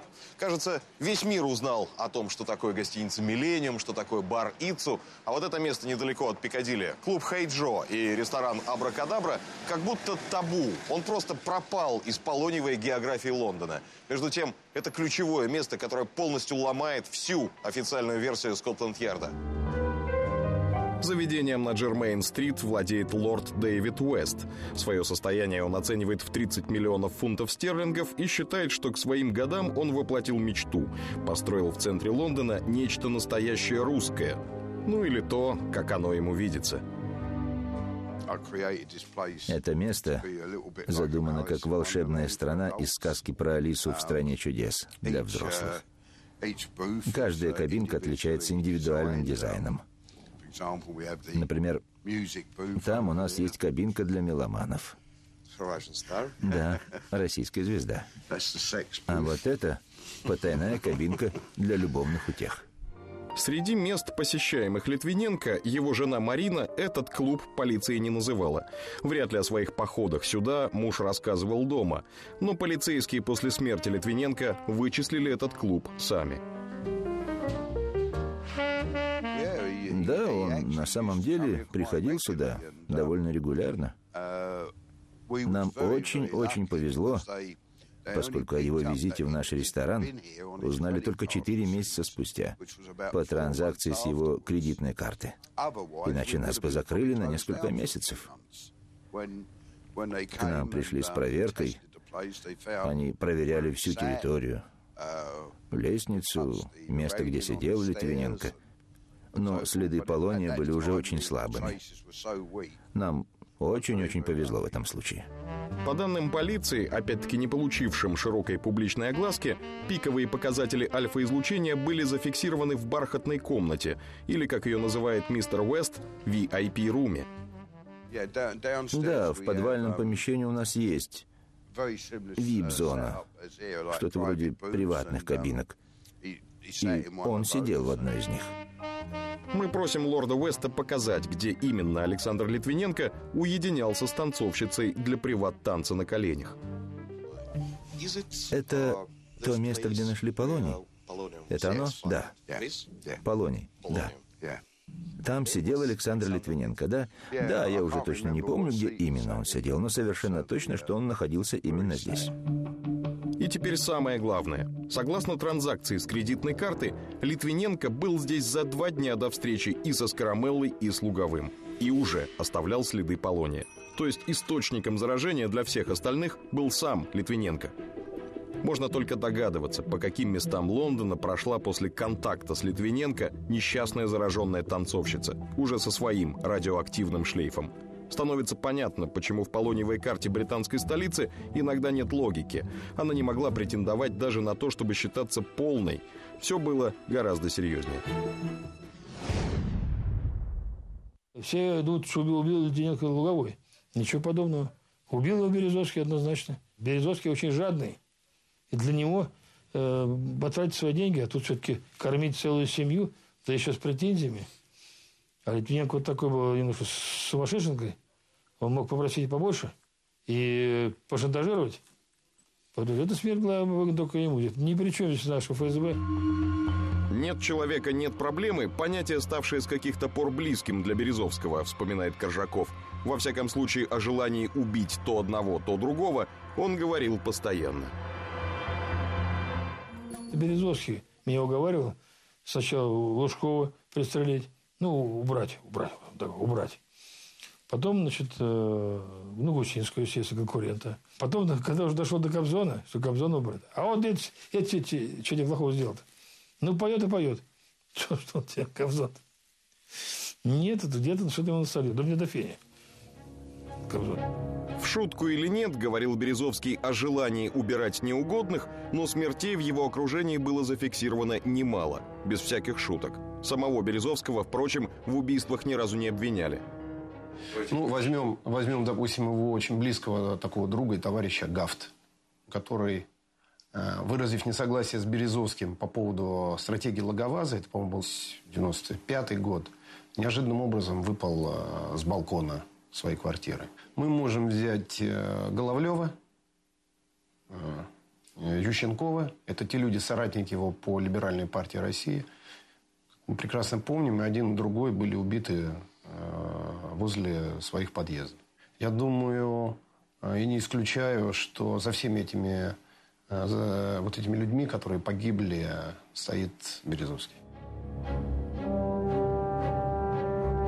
Иван Рыбкин был последним, с кем депутату Сергею Юшенкову довелось поговорить перед смертью. Беседовали о политике. Оба участвовали в праймерис, готовили анкеты, чтобы выяснить, кого народ хочет видеть во главе оппозиционных сил. Он мне позвонил буквально за несколько десятков минут до смерти. Приближались выборы третьего года э, в Думу. И он мне позвонил, сказал, я полностью тебе доверяю, что тут зубы разболелись. В общем, даже не буду редактировать текст. Отдавайте, Иван Петрович, все. Или вдруг мне звонок и говорят, Сергей Николаевич Юшенков убит. Я, да как же так? Я только вот буквально считанные минуты назад с ним разговаривал. Он, видимо, уже к дому подъезжал, и во дворе дом был убит. Бандитствующей публикой от политики, я бы так сказал. В убийстве Сергея Юшенкова по горячим следам обвинили троих – непосредственного исполнителя и двух посредников. Имя заказчика они долго не называли, но потом вдруг почти одновременно заявили – это Михаил Каданев. Еще один, как и Юшенков, сопредседатель партии «Либеральная Россия». Милиция произвела арест, началось следствие, потом суд. Все это время Каданев молчал. Вины не признавал, но и защищаться не пытался. Так и отправился в тюрьму, молча. Прошло почти 10 лет. И вот заключенный Каданев решил высказаться. Мы приехали к нему в мордовскую тюрьму. Интервью, которое он нам дал, откровенное, жесткое и объясняет многое. За молчание Бадри Патаркашвили и Борис Березовский обещали мне 3 миллиона долларов. Кроме того, Михаилу Каданеву пообещали, что позаботятся о его семье. Пока он посидит, будут всячески помогать и поддерживать ее материально. Суммы не такие большие были. На них в Москве очень трудно жить. Очень трудно было жить. Время шло. Три обещанных миллиона долларов до Каданева так и не дошли. Помощь семье с некоторых пор прекратилась вовсе. И заключенный решил, что теперь имеет полное право рассказать правду. Он требует новый суд и новое следствие, так как к убийству Сергея Юшенкова он не имеет никакого отношения, а взять вину на себя его заставили угрозами. Молчал, потому действительно, я мог много сказать, потому что действительно были угрозы моей семье. Угрожали убить и его самого. Даже на суде подходили и шептали через решетку. Да это подошел мне милиционер и сказал, за тебе оплачено 50 тысяч долларов, тебя должны застрелить. Возможно, мне сказали это, инициировали мое молчание, так сказать, чтобы я молчал еще покрепче, да. А потом сказали, бесполезно тебе что-то делать, потому что все уже решено ты будешь осужден по полу. Если угрозы жизни Каданеву приходили анонимно, то просьба взять вину на себя исходила от конкретных персон. Они хотели, чтобы он молчал. Молчал и сидел свой срок. Это было передано от Бориса Березовского и Бадри Патракшвили. Интервью Михаил Каданев просил считать обращением из тюрьмы к правосудию, и через нашу съемочную группу он передал свое официальное заявление в Генпрокуратуру и в Следственный комитет. В нем он краток. Реальными заказчиками убийства С. Юшенкова были Аркадий Патаркацишвили и Борис Березовский. Свое многолетнее молчание Каданев объясняет тем, что боялся финансовой и криминальной влиятельности названных. Кому был выгоден шум, который поднялся в прессе вокруг убийства Сергея Юшенкова, Михаил Каданев знал и тогда, и сейчас не сомневается. Шум этот был выгоден как раз Борису Березовскому и Бадре Патракасшвили. Почему? М-м, убийство Юшенкова а, помогло Березовскому получить политическое убежище, потому что англичане поняли, что в России ему грозит смерть. Я хочу напомнить, что это как раз э, начала 2000-х годов. Березовский в Лондоне. Он борется за политубежище. Ему надо создать все условия для того, чтобы продемонстрировать британской Фемиде, что он преследуется по политическим, а не по экономическим мотивам. Создать э, лишний антураж вокруг себя, это весьма было выгодно Березовскому. Поэтому убить первого человека в партии и сказать, друзья мои, вы видите, я создаю эту партию, я финансирую, я член э, политсовета этой партии, я везде с этой... У меня э, представители партии прилетают ко мне в Лондон как Герцену советоваться. И вот, смотрите, у подъезда дома убивают первое лицо. Ну, блин, я не знаю, что еще круче можно придумать. Все, кто сегодня в том или ином обвиняют Березовского, ни разу не обходят стороной Бадри Патракацишвили. Они начинали вместе еще в Лаговазе, были полжизни вместе, и мало какое из дел было у них не на двоих. Бадри, или Аркадий по паспорту, имел колоссальный авторитет в криминальном мире и любил жить роскошно. Этот гигантский дом по Таркацишвили на самом деле бывший дворец бракосочетания в Тбилиси. Он купил его с позволения Шеварднадзе. Золото, камни, диковинная мебель и машины. Слабость Бадри. В его гараже лучшие экземпляры Астон Мартинов, Бентли и Роллс-Ройсов. Но особо он гордился чайкой Леонида Брежнева и вот этим Мерседесом Адольфа Гитлера с нацистской свастикой. Рука.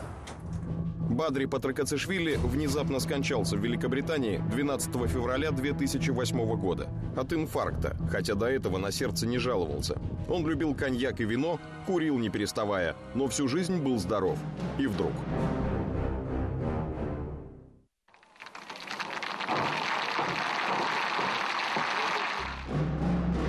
Несколько членов семьи Патракацишвили и юристы Бадри, пострадавшие от его смерти, вскоре подали исковое заявление в Верховный суд штата Нью-Йорк в США. В нем указывается, что в день смерти их родственник встретился с Борисом Березовским в его лондонском офисе. А там, согласно иску, Березовский подсыпал в рюмку коньяка Бадри флюороцитрат натрия. Это смертельный яд, который называют сывороткой смерти. Препарат бесцветен, не имеет вкуса и практически не проявляется на вскрытии. Он вызывает обширный инфаркт, кому и смерть. Предварительные результаты вскрытия тела Бадри указывают на то, что умер он от инфаркта. Даже те, кто привык к тому, что вокруг Березовского часто кто-то гибнет, в эту версию верить отказывались. Слишком искренней была дружба двух партнеров до последнего дня. Но именно этот факт личный друг и адвокат Патаркацишвили Иммануил Зельцер как раз опровергает. Бадри начал уставать от выходок партнера, его политических амбиций и непомерных трат последних общих денег на финансирование абсурдных революций в России, Грузии и других странах. Их отношения стали резко ухудшаться. В конце 2005 года Бадри объявил Борису о своем намерении прекратить их партнерские отношения и желании продолжать бизнес самостоятельно. Борис был в бешенстве. Без криминального таланта Патаркацишвили Березовскому, очевидно, было трудно обойтись, а экономический развод, который в 2006 году Бадри вынудил подписать, стал для Березовского серьезным ударом. К этому моменту Борис Абрамович серьезно поиздержался, а самостоятельно делать бизнес у него получалось только в России. На третий день после смерти Бадри Борис Березовский подписывает договор с его вдовой, по которому умудряется завладеть половиной активов покойного. Причастность Березовского к смерти Бадри не доказывают, но после похорон для Березовского заканчивается кризис, из-за которого он даже срезал втрое жалование преданному Александру Литвиненко. Это было воспринято как оскорбление. Литвиненко звонил и жаловался родным. Он понял, что я ж тебя, по сути дела, я тебя, сука, несколько раз спасал. Я тебе то, я тебе то. А ты меня сейчас сажаешь на голодный паек, имея такие бабки – и потом меня берут трубку, он говорит, все, я говорит, больше ни на кого не работаю, не хочу никого знать. То есть очень обозлился. Брошенный Березовским, Литвиненко решает выживать самостоятельно. Пробует торговать даже российским газом, но после ряда неудач решает, все, что у него есть, это имидж офицера-перебежчика и возможность пригодиться кому-либо в роли знатока тайн ФСБ. Вот редкие кадры, находящиеся до сих пор под грифом «Секретно», где Литвиненко делает сенсационные заявления. По просьбе парламентской комиссии по расследованию архивов Митрохина я дал ряд серьезных заявлений о преступной и террористической деятельности КГБ и ФСБ.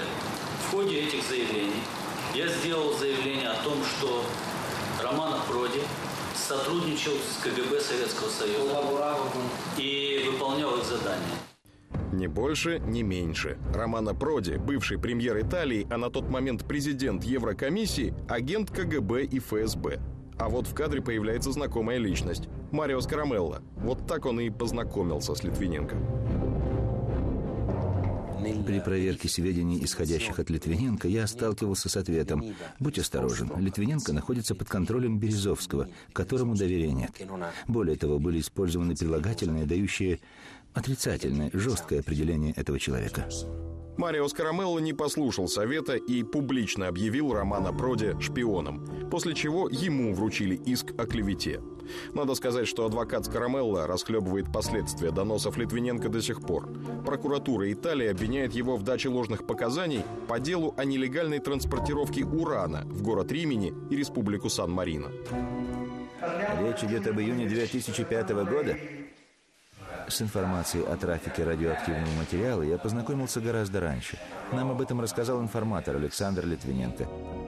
То есть какое-то отношение к радиоактивным элементам Александр Литвиненко мог иметь задолго до своего отравления. Кстати, одновременно с поисками полония, которым наследил Марио Скарамелло, вернувшись в ноябре 2006 из Лондона, полиция взялась за обследование и организма итальянца. Вот единственные уникальные кадры Марио. Не правда ли знакомая картина? Вы отравили Литвиненко? Нет, конечно нет. Он был моим другом. Это та же самая палата, где умирал Литвиненко, и та же самая кровать. Меня пригласила английская полиция для проведения анализов в Лондоне. Я действительно прошел медицинское освидетельствование в Лондоне, но результатов этих анализов так и не получил. Я читал в газетах, что анализы засекречены. Действительно, узнать, был ли полоний в организме Скарамеллы, для суда было бы очень важно. Но нам в Лондоне снова повезло. Вот засекреченный документ. Заключение при выписке, который с Карамелли так и не показали. Госпиталь Университетского колледжа Британии сообщает, что у пациента был обнаружен полоний-210 в моче, в костном мозге, почках, в печени и прямой кишке. И вот цифры. Я гражданин Италии, европейской страны, но еще ни разу я не получил доступа к медицинским данным, касающимся меня. Высшие руководители британской администрации и сообщили мне, что у меня общее заражение, и я умираю. Мне так и было сказано, что я умираю. И меня госпитализировали, наверное, только с целью проследить за кончиной. Однако, согласно тому же заключению, показатели полония в организме пациента за неделю пришли практически в норму. В чем же дело? Почему Литвиненко на этой же постели мучительно умирает, теряя волосы, а другой с замечательной шевелюрой жив и по-прежнему? Эту загадку, как утверждает отец Литвиненко, он разгадал. Он уверяет, что причиной смерти был не полоний. Сына могли убить чем-то другим, а радиолучевую болезнь сымитировать для мирового скандала. Полонием, утверждают специалисты, в мире до этого действительно никого не убивали. Он слишком опасен для самого отравителя, летуч и оставляет за собой следы. Полоний-210 – один из наиболее распространенных полониевых изотопов и доступен в открытой продаже. Он много где используется. Но для отравления это довольно странная вещь. В мировой практике полоний как раз и используют как маркер, помечая им, например, нелегальное оружие, чтобы проследить по шлейфу его незаконный трафик. Безусловно, использование радиоактивных маркеров было известным понятием. Это было известно и Литвиненко. Была ли проведена такая операция? Возможно, даже вероятно. Что делал с полонием Литвиненко, наверное, так и останется тайной. Но в нужный момент, когда он уже выздоравливал в госпитале, его могли убить другим способом, а смерть изобразить как лучевую болезнь, считает отец Литвиненко. А брат добавляет, вот зачем Александру украинская служанка Ахмеда Закаева обрила голову. То есть побрили они его там, как сказали, что у него начали выпадать волосы, и побрили ему голову. То есть. Дом, в котором жил Александр Литвиненко, находится в скромном районе Лондона, на самой его окраине. Березовский купил ему недорогую квартиру, но даже ее умудрился оформить на себя, а не на Литвиненко. А напротив, буквально в 100 метрах, расположился Ахмед Закаев. У него работала та самая добрая украинская женщина, которая однажды посетила в больнице Литвиненко. Предсмертные снимки бритого Литвиненко обошли весь мир и стали для читателей западной прессы иллюстрацией того, как Кремль расправляется с неугодными. Отец погибшего в эту версию не верит. Он убежден, что его сын погиб, потому что слишком много знал, как Березовский получал политическое убежище в Британии. И такой свидетель, да еще и обиженный, мог Березовскому стать опасен. Им нужен был Сашка мертвый, а не живой. Вальтер Литвиненко, после смерти сына, уехавший за границу, теперь возвращается в Россию. Говорит, что с удовольствием взял бы с собой на родину Бориса Березовского. Ну, как, ну, не стоит бояться экстрадиции в России? Ну, как ему можно бояться экстрадиции, если он а, в суде здесь доказал, что он э, преследуется по политическим мотивам? Ну, он же серьезный математик. И он игрок. Он умный человек и, и очень рисковый. Ему неинтересно играть по чуть-чуть. Когда я говорил о, о его охране, я говорю, ну вот у вас же есть охранники. Он сказал, это не охранники, это свидетели. Свидетели чего? Что это? Ну, то, чего может с ним произойти а также произойти вокруг него. Э, я просто посчитал, что в моей жизни я, я вспомнил минимум о 13 случаях, когда как минимум с вероятностью 50%, 0,5, ну, да, если уж точно, я должен был погибнуть. Мне было вот 13, я насчитал 13 случаев таких в моей жизни. По поводу смерти Березовский шутит всю жизнь, сообщает, сколько раз на него покушались, и даже привычно выводит из этого математическую формулу. То, что я жив до сих пор, Вероятность этого равняется единице, деленной на 2 в 13 степени. И здесь Березовский скорее прав. Он мистическим образом избегает смерти всю свою жизнь. Однажды еще в Москве, например, он ночью на огромной скорости разбился на снегоходе. Со сломанным позвоночником, прикованный к каталке, на грани жизни и смерти, он с улыбкой объявил врачам. Знаете, что впервые в жизни я понял этой ночью? Никогда не мешайте красное вино с текилой. Только Березовский в свое время мог абсолютно не бояться смерти и постоянно летать в охваченную войной Чечню. Но секрет смелости олигарха скорее был в другом. Э, он приземлялся почему-то не в Грозном, на северном аэродроме, а почему-то э, в Махачкале. Пускай там посылаю, соответственно, туда ну, для встречи э, группу там спецназовцев. И мои возвращаются люди, техники, конечно, там набронированные и прочее. И говорят, мне говорят, товарищ командующий, ну, там встретила команда на крутых джипах, все обвешаны оружием, все, будем говорить, не русские, так, ну, мы, говорит, так поняли, что встретили его чеченцы, увезли куда-то в горы. Константин Пуликовский, в 96 году командующий объединенной группировкой федеральных сил в Чеченской Республике, схватился за голову. Опасности подвергалась фигура по государственным меркам более чем значимая замсекретаря Совбеза, значит, его увезли в горы. Я ругал своих подчиненных, почему вы не применили буквально силу даже, может быть, его захватили, может быть, еще что-то. Всякий раз, направляясь в Чечню, Березовский действительно странным образом летел сначала сюда, в Махачкалу.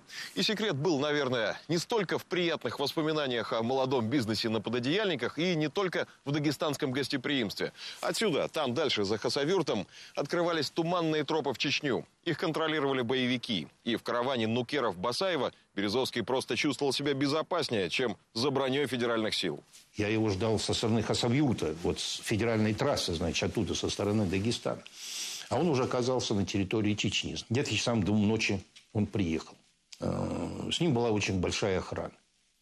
Все люди были, э, ну, будем говорить, не славянской национальности в этой охране.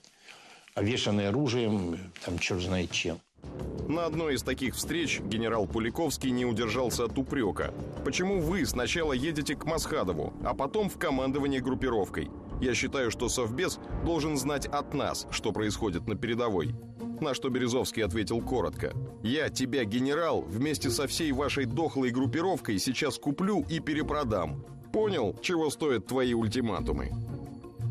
Да, я называю это предательством предательством нашего государства, нашей страны, нашего народа. Я по-другому это не называю. Но вся страна тогда думала о Березовском как об освободителе пленных. Тяжелейшие переговоры с боевиками, сила убеждения, бесстрашие и отвага заместителя секретаря Совбеза. Это когда было похищено Масюк с оператором. Меня Бадри Патаркасвили тогда попросил, попросил лично лететь с Березовским. Мы прилетели, ночью пересекали границу Чечни. Потом несколько часов мы ехали в, на машинах, приехали в деревню, в Чеченскую, совсем не разрушенную, как мне показалось. А потом туда приехал на трех джипах с охраной, вообще, как с картинки, прекрасно одетых в американскую амуницию Басаев. Встречал во дворе его Березовский. И потому, как они общались, очевидно было, и для меня это было таким легким шоком, что отношения у Березовского с Басаевым такие очень близкие, очень доверительные. А часто бывало еще проще, вспоминает Андрей Луговой. За пленными журналистами в Чечню Березовский мог даже не летать. Самолет с освобожденными садился во Внуково, но перед тем, как подъехать к встречающей прессе, сначала останавливался на задворках аэродрома, в стороне от любопытных глаз. Подъехал трап, подъехал э, машина «Мерседес», оттуда вышел Березовский, один быстренько забежал в самолет, двери закрылись, и самолет поехал уже туда, где стояло порядка 30 журналистов всех центральных каналов и зарубежных. С освобожденными выходил Березовский, а журналисты его спрашивали, как в очередной раз удалось героически вызволить из плена коллег. Не платят ли боевикам деньги, подогревая их аппетит к захвату заложников. Каждый раз, в общем, а технологии совершенствуются. Ясно. Ну, никаких денег, выкупа, ничего, речь даже не шла, да? Ну, я постоянно об этом твержу. Мне почему-то меньше всего верят. Но, наверное, есть на это основание, да? Нет, денег не было. На самом деле не бесплатно. Там был, э, в сумке был миллион долларов. И охрана Березовского таскала за собой эту сумку, такая спортивная. Туда мы летели, сумка была, обратно летели, значит, сумки не было. Чьи это были деньги?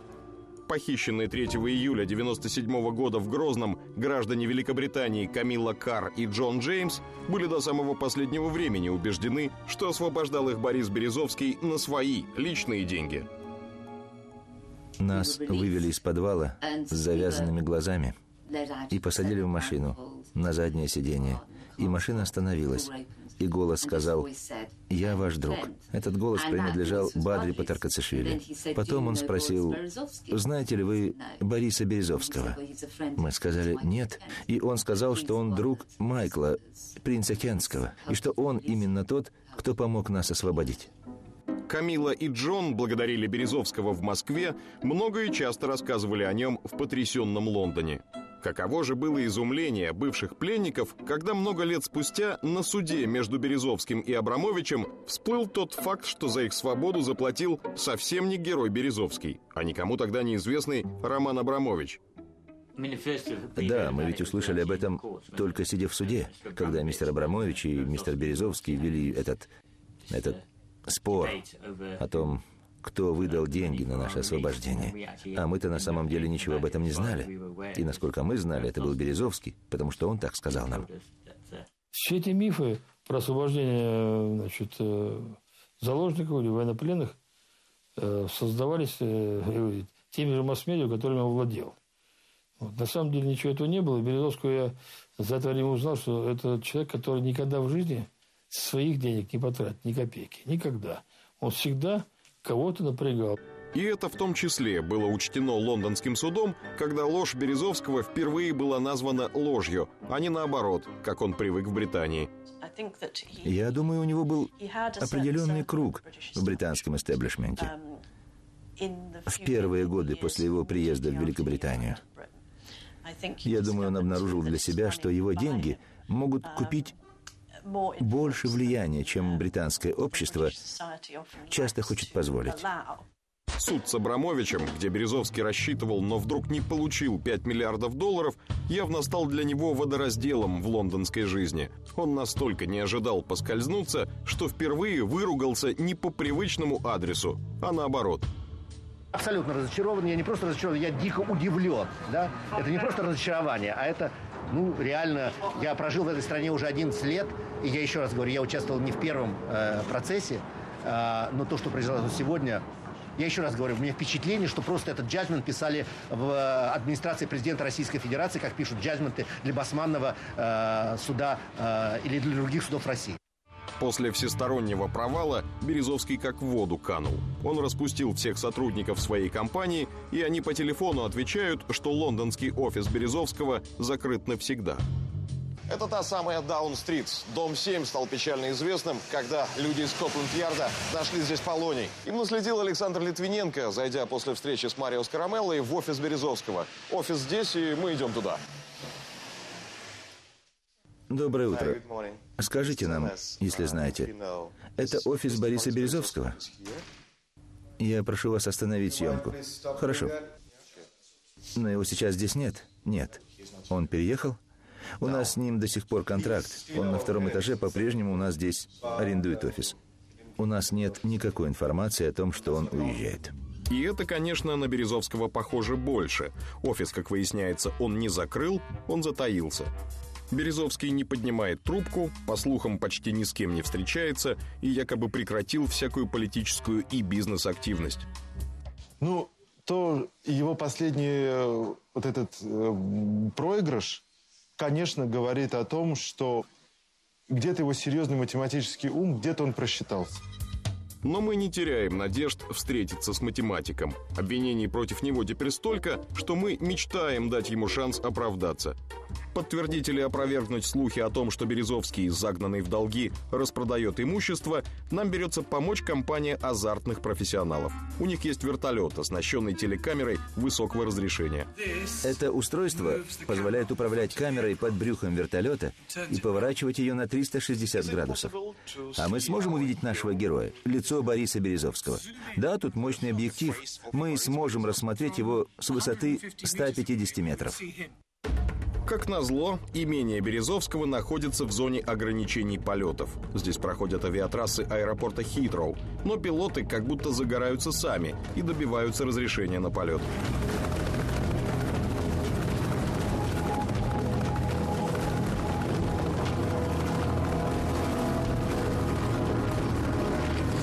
Обещайте мне, что если охранники Березовского откроют по нам огонь, вы отремонтируете вертолет за ваши рубли, шутит пилот. Англичане не считают русских олигархов частью своего общества. Они их не знают, и часто можно слышать, что даже боятся. Они совершенно не приносят никакой пользы. Более того, мы их вообще не видим. Наши люди боятся проходить мимо их общины, так как, по моему мнению, большинство из них уголовники. Они не делают ничего хорошего здесь, они не сделали ничего хорошего там. Кажется, подлетаем. Ориентир пилотов – прекрасный ансамбль колледжа и университета Royal Холливей под Лондоном. А рядом – шикарное имение.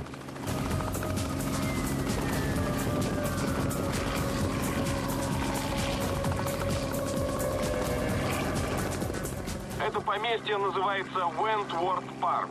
Березовский его купил в 2001 году у миллионера Скотта Янга. Тот тогда обанкротился и отдавал все по дешевке. Дом, несколько гектаров территории, парк, дорожки, пруд. Все это обошлось Березовскому в 20,5 миллионов фунтов стерлингов. Мы заходим над домом Березовского, кажется, слишком бесцеремонно. Уже на первом круге разбегаются и прячутся даже садовники, побросав инвентарь и саженцы для парка. Хотя, если бы ваш олигарх гулял по дорожкам, смеются пилоты, он бы от нас не успел уйти. Не видно, чтобы Борис Абрамович гулял по своему прекрасному парку. Говорят, что после суда с Абрамовичем он стал таким затворником, что теперь очень редко выходит из дома. Впрочем, и сверху видно, что депрессию любого характера можно лечить и не выходя из такого дома. Прозрачный купол зимнего сада, большой крытый бассейн. Но нигде ни души.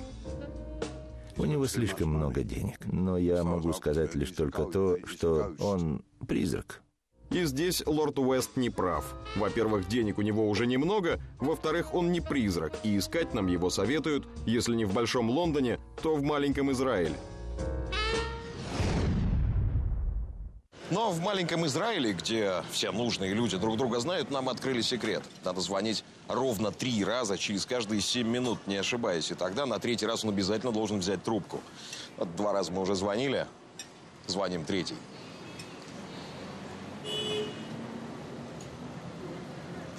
Нет ответа или Борис Абрамович сменил код доступа, или нужные люди в Израиле не всегда говорят правду. Впрочем, не похоже, чтобы здесь его пытались укрывать. К Березовскому у израильских властей, в отличие от британских, отношения далеко не однозначные. И хотя Березовский чувствует себя здесь в безопасности, вовсе не похоже, чтобы Израиль пошел на конфликт с целым государством, если встанет ребром вопрос об экстрадиции. Израиль не выдает евреев Но принцип, что евреи никого не выдают, не распространяется на преступников. Наличие еврейского происхождения и проживание в еврейском государстве не индульгенция от всех прошлых грехов. Знаменитый кадр из фильма «Олигархи» израильского режиссера Александра Гентелева – Семибанкирщина после инаугурации президента Ельцина радуется в Кремле своей победе на выборах. Именно своей, потому что второй срок Ельцина был очень во многом их заслугой. Та сцена, которую нам удалось снять, где они стоят э, в Кремлевском дворце и смеются, э, ну, она меня огорчила, скажем так. Я понимал, что этого нельзя делать. Нельзя. Почему? Я сказал, они все рано или поздно они проиграют. Рано или поздно они проиграют. Так себя нельзя вести. До 90-х, пока не было отношения с Советским Союзом, э, израильское общество относилось вообще к евреям, которые приезжали оттуда, э, как к э, беженцам, которым надо помогать, Они нищие. И поэтому их надо устроить на работу, дать им квартиру, помочь это самое все. И вдруг в один момент приехали какие-то дяди на огромных Мерседесах. Колоннами, с охраной. С охраной? С охраной. Когда у нас так ехали только три человека. Президент, министр обороны и премьер-министр. Они очень быстро, э, люди, особенно как Боря Березовский, эм, начали, хотели залезть в э, и политическую, и экономическую деятельность этого государства. Они хотели купить все. Но в маленьком Израиле для того же Березовского не было ничего достаточно масштабного. Даже борщ негде было съесть. Боря даже тут держал один собственный ресторан, куда он мог прийти посидеть. Просто для себя. Этот ресторан был всегда пустой, и туда приходил только Боря Березовский. Просто для себя. Он его открыл. Березовский очень быстро, э, насколько я знаю, э, разочаровался именно тем влиянием, которое он может вложить в это государство. И в какой-то момент, мне кажется, он просто плюнул на это место и сказал, это мне все неинтересно. Когда-то нечто подобное в разрушенной Чечне услышал от Бориса Березовского и боевой генерал Константин Пуликовский. Но только тогда олигарх был на коне, и ему было тесно даже на планете. Он мне просто сказал такую фразу, когда мы шли отдыхать, что, говорит, «А, ты знаешь, генерал, как мне все обрыдло на этой земле. Знаешь, что я больше всего хочу в этой жизни? Я хочу полететь в космос. И посмотреть на эту жалкую землю оттуда. Что же она из себя представляет? Вот это у меня желание. Остальное мне все на этой земле неинтересно. Израильская клиника Тель-Хашомер, известная в мире своими психиатрами. К ним приезжают проигравшие выборы политики, обанкротившиеся брокеры с Уолл-стрит. Здесь лечит свои психические срывы наш Филипп Киркоров. И здесь же, как выяснилось, после провального суда с Абрамовичем оказался и Борис Абрамович. Нас уверяют, что окна Березовского там, на третьем этаже. И лучше говорят, чтобы он нас не видел, потому что покой пациента здесь строго охраняют. Потому что искренне ему здесь сочувствуют. В последний момент упустить 5 миллиардов долларов – это ж такой удар, после которого, если уж не петля, то точно психиатрия.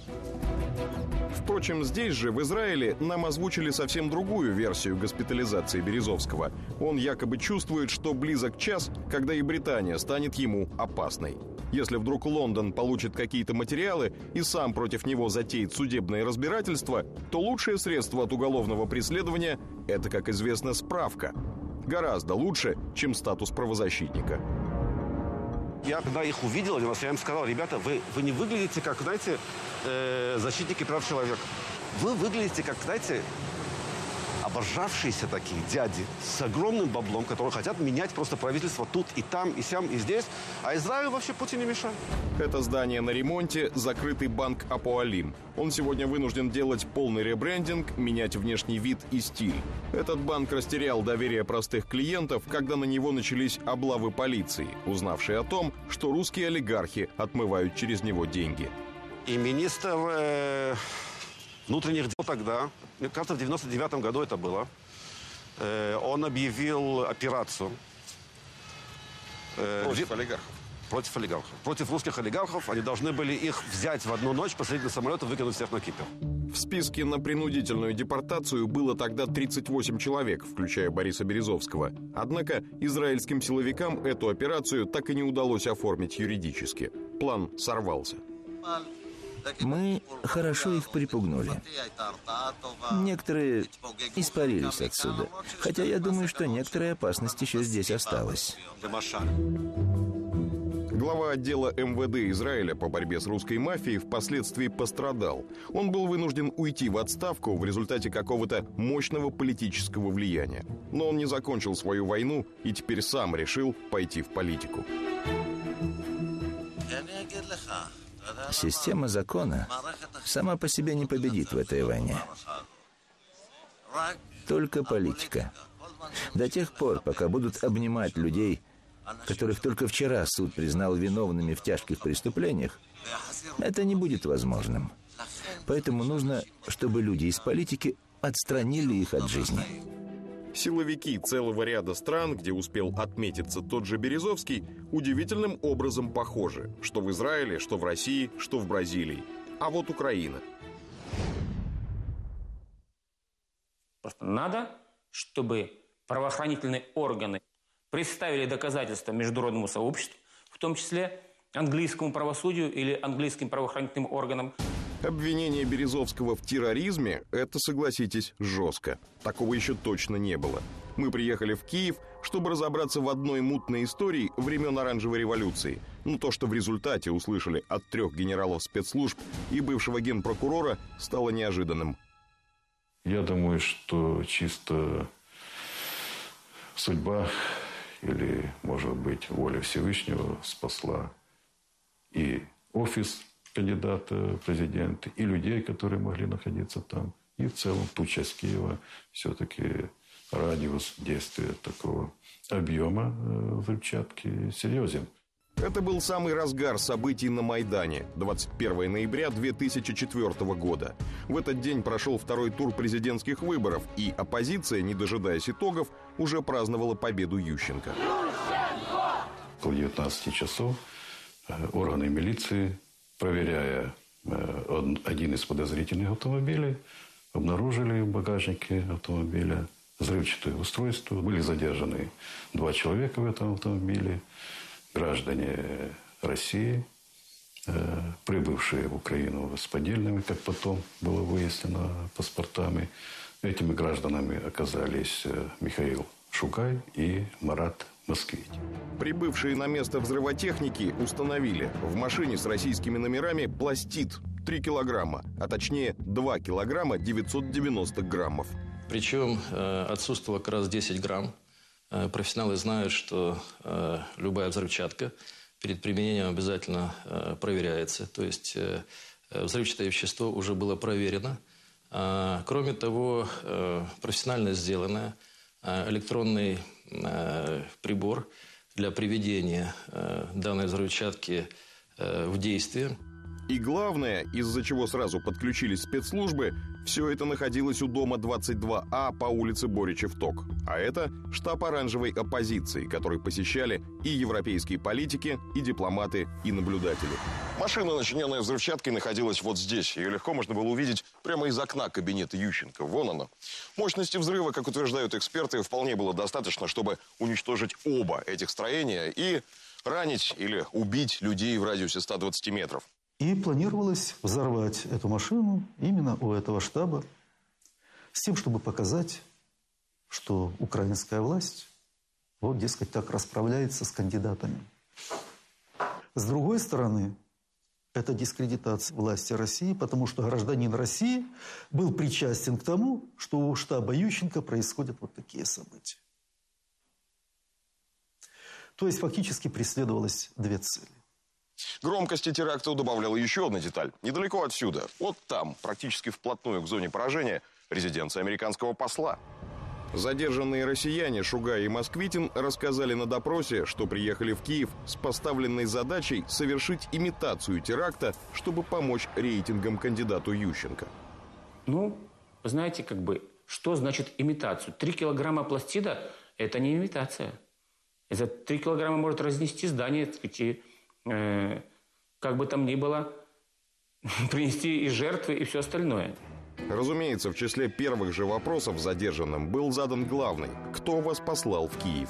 Шугай э, на допросах э, еще во времена нашего расследования э, пояснил, что заказчиком выступал э, некий антиквар по имени Дмитрий, э, с которым э, в сентябре 2004 года в Сандуновских банях произошел разговор. Антиквар э, Дмитрий э, был э, близкой связью Георгия Шупы, зятя господина Бориса Березовского, с которым сам Шугай был знаком с 1999 года. Опять-таки со слов Шугая, Дмитрий ему сообщил, что господин Березовский имеет интересы в Украине, в том числе экономические, и очень заинтересован в том, чтобы Ющенко стал президентом. Это, так сказать, определенная помощь в реализации плана э, создания своего президента э, в Украине.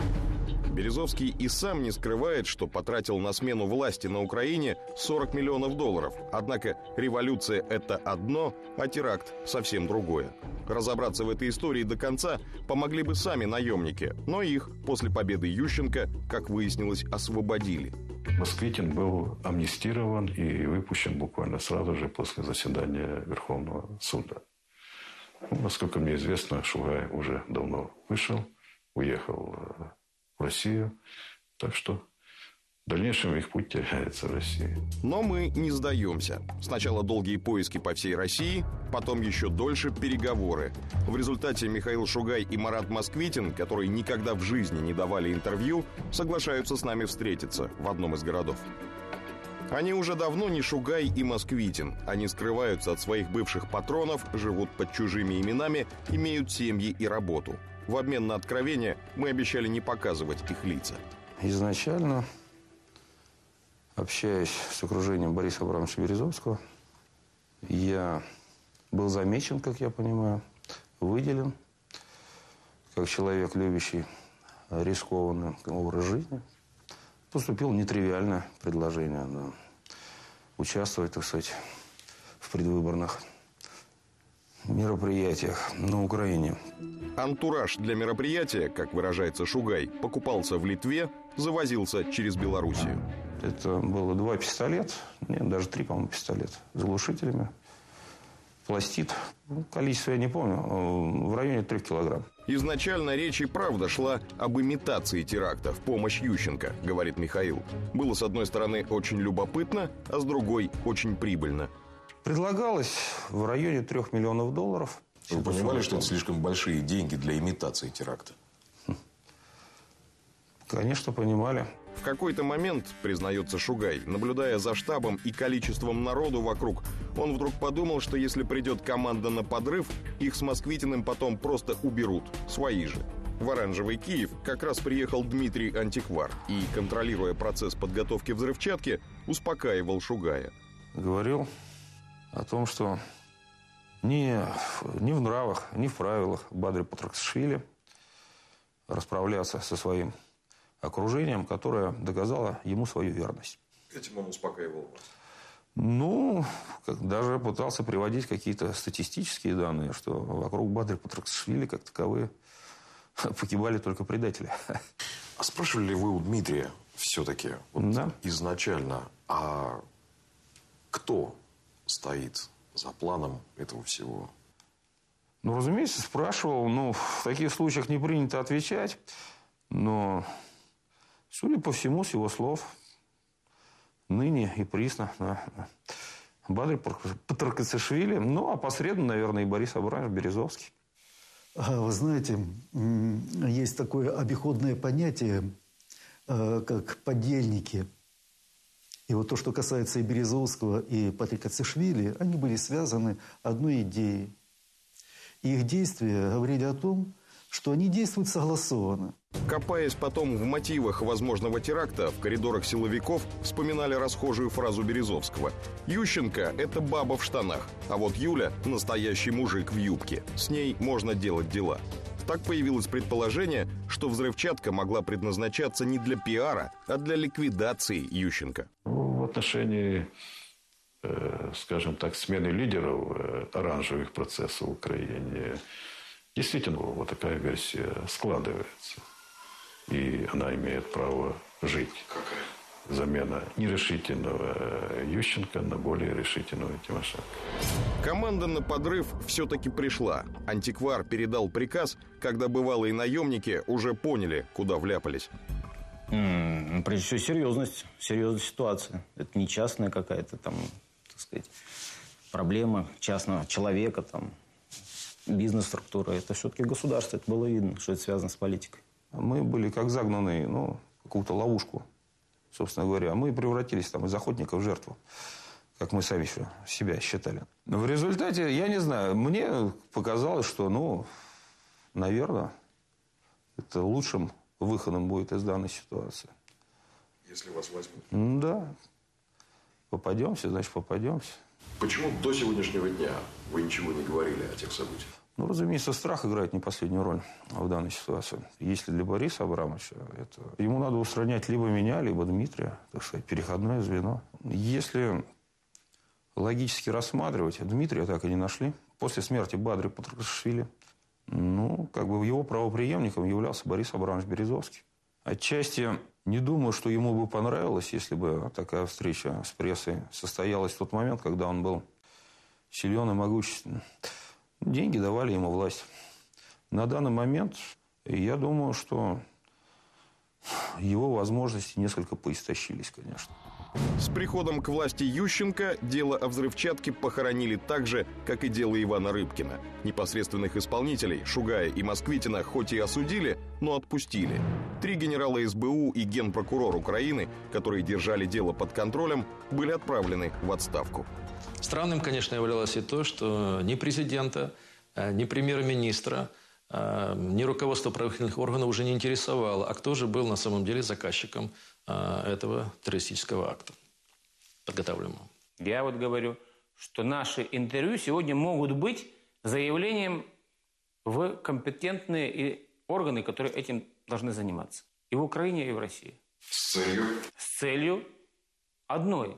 Преступник должен сидеть в тюрьме. Преступление должно быть наказано.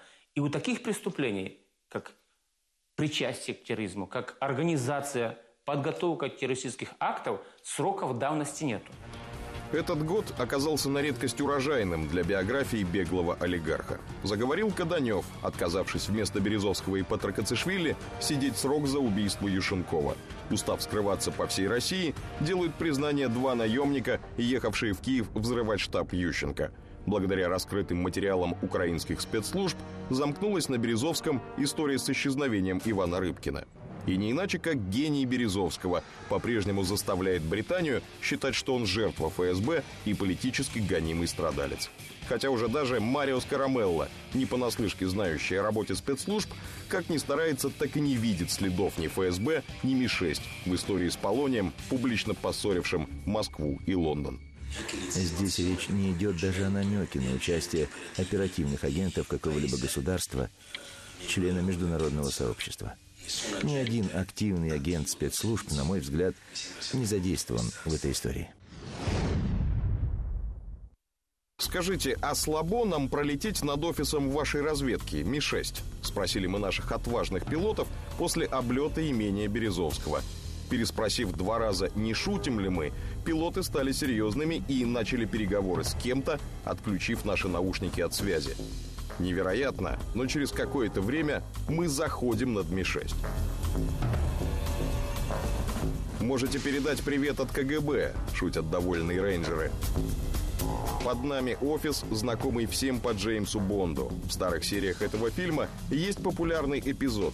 Мифические террористы из организации «Спектр» всячески пытаются натравить друг на друга КГБ и Ми-6. А агент Ее Величества спасает две державы, не давая Москве и Лондону столкнуться. В новых фильмах такого эпизода почему-то нет. А жаль.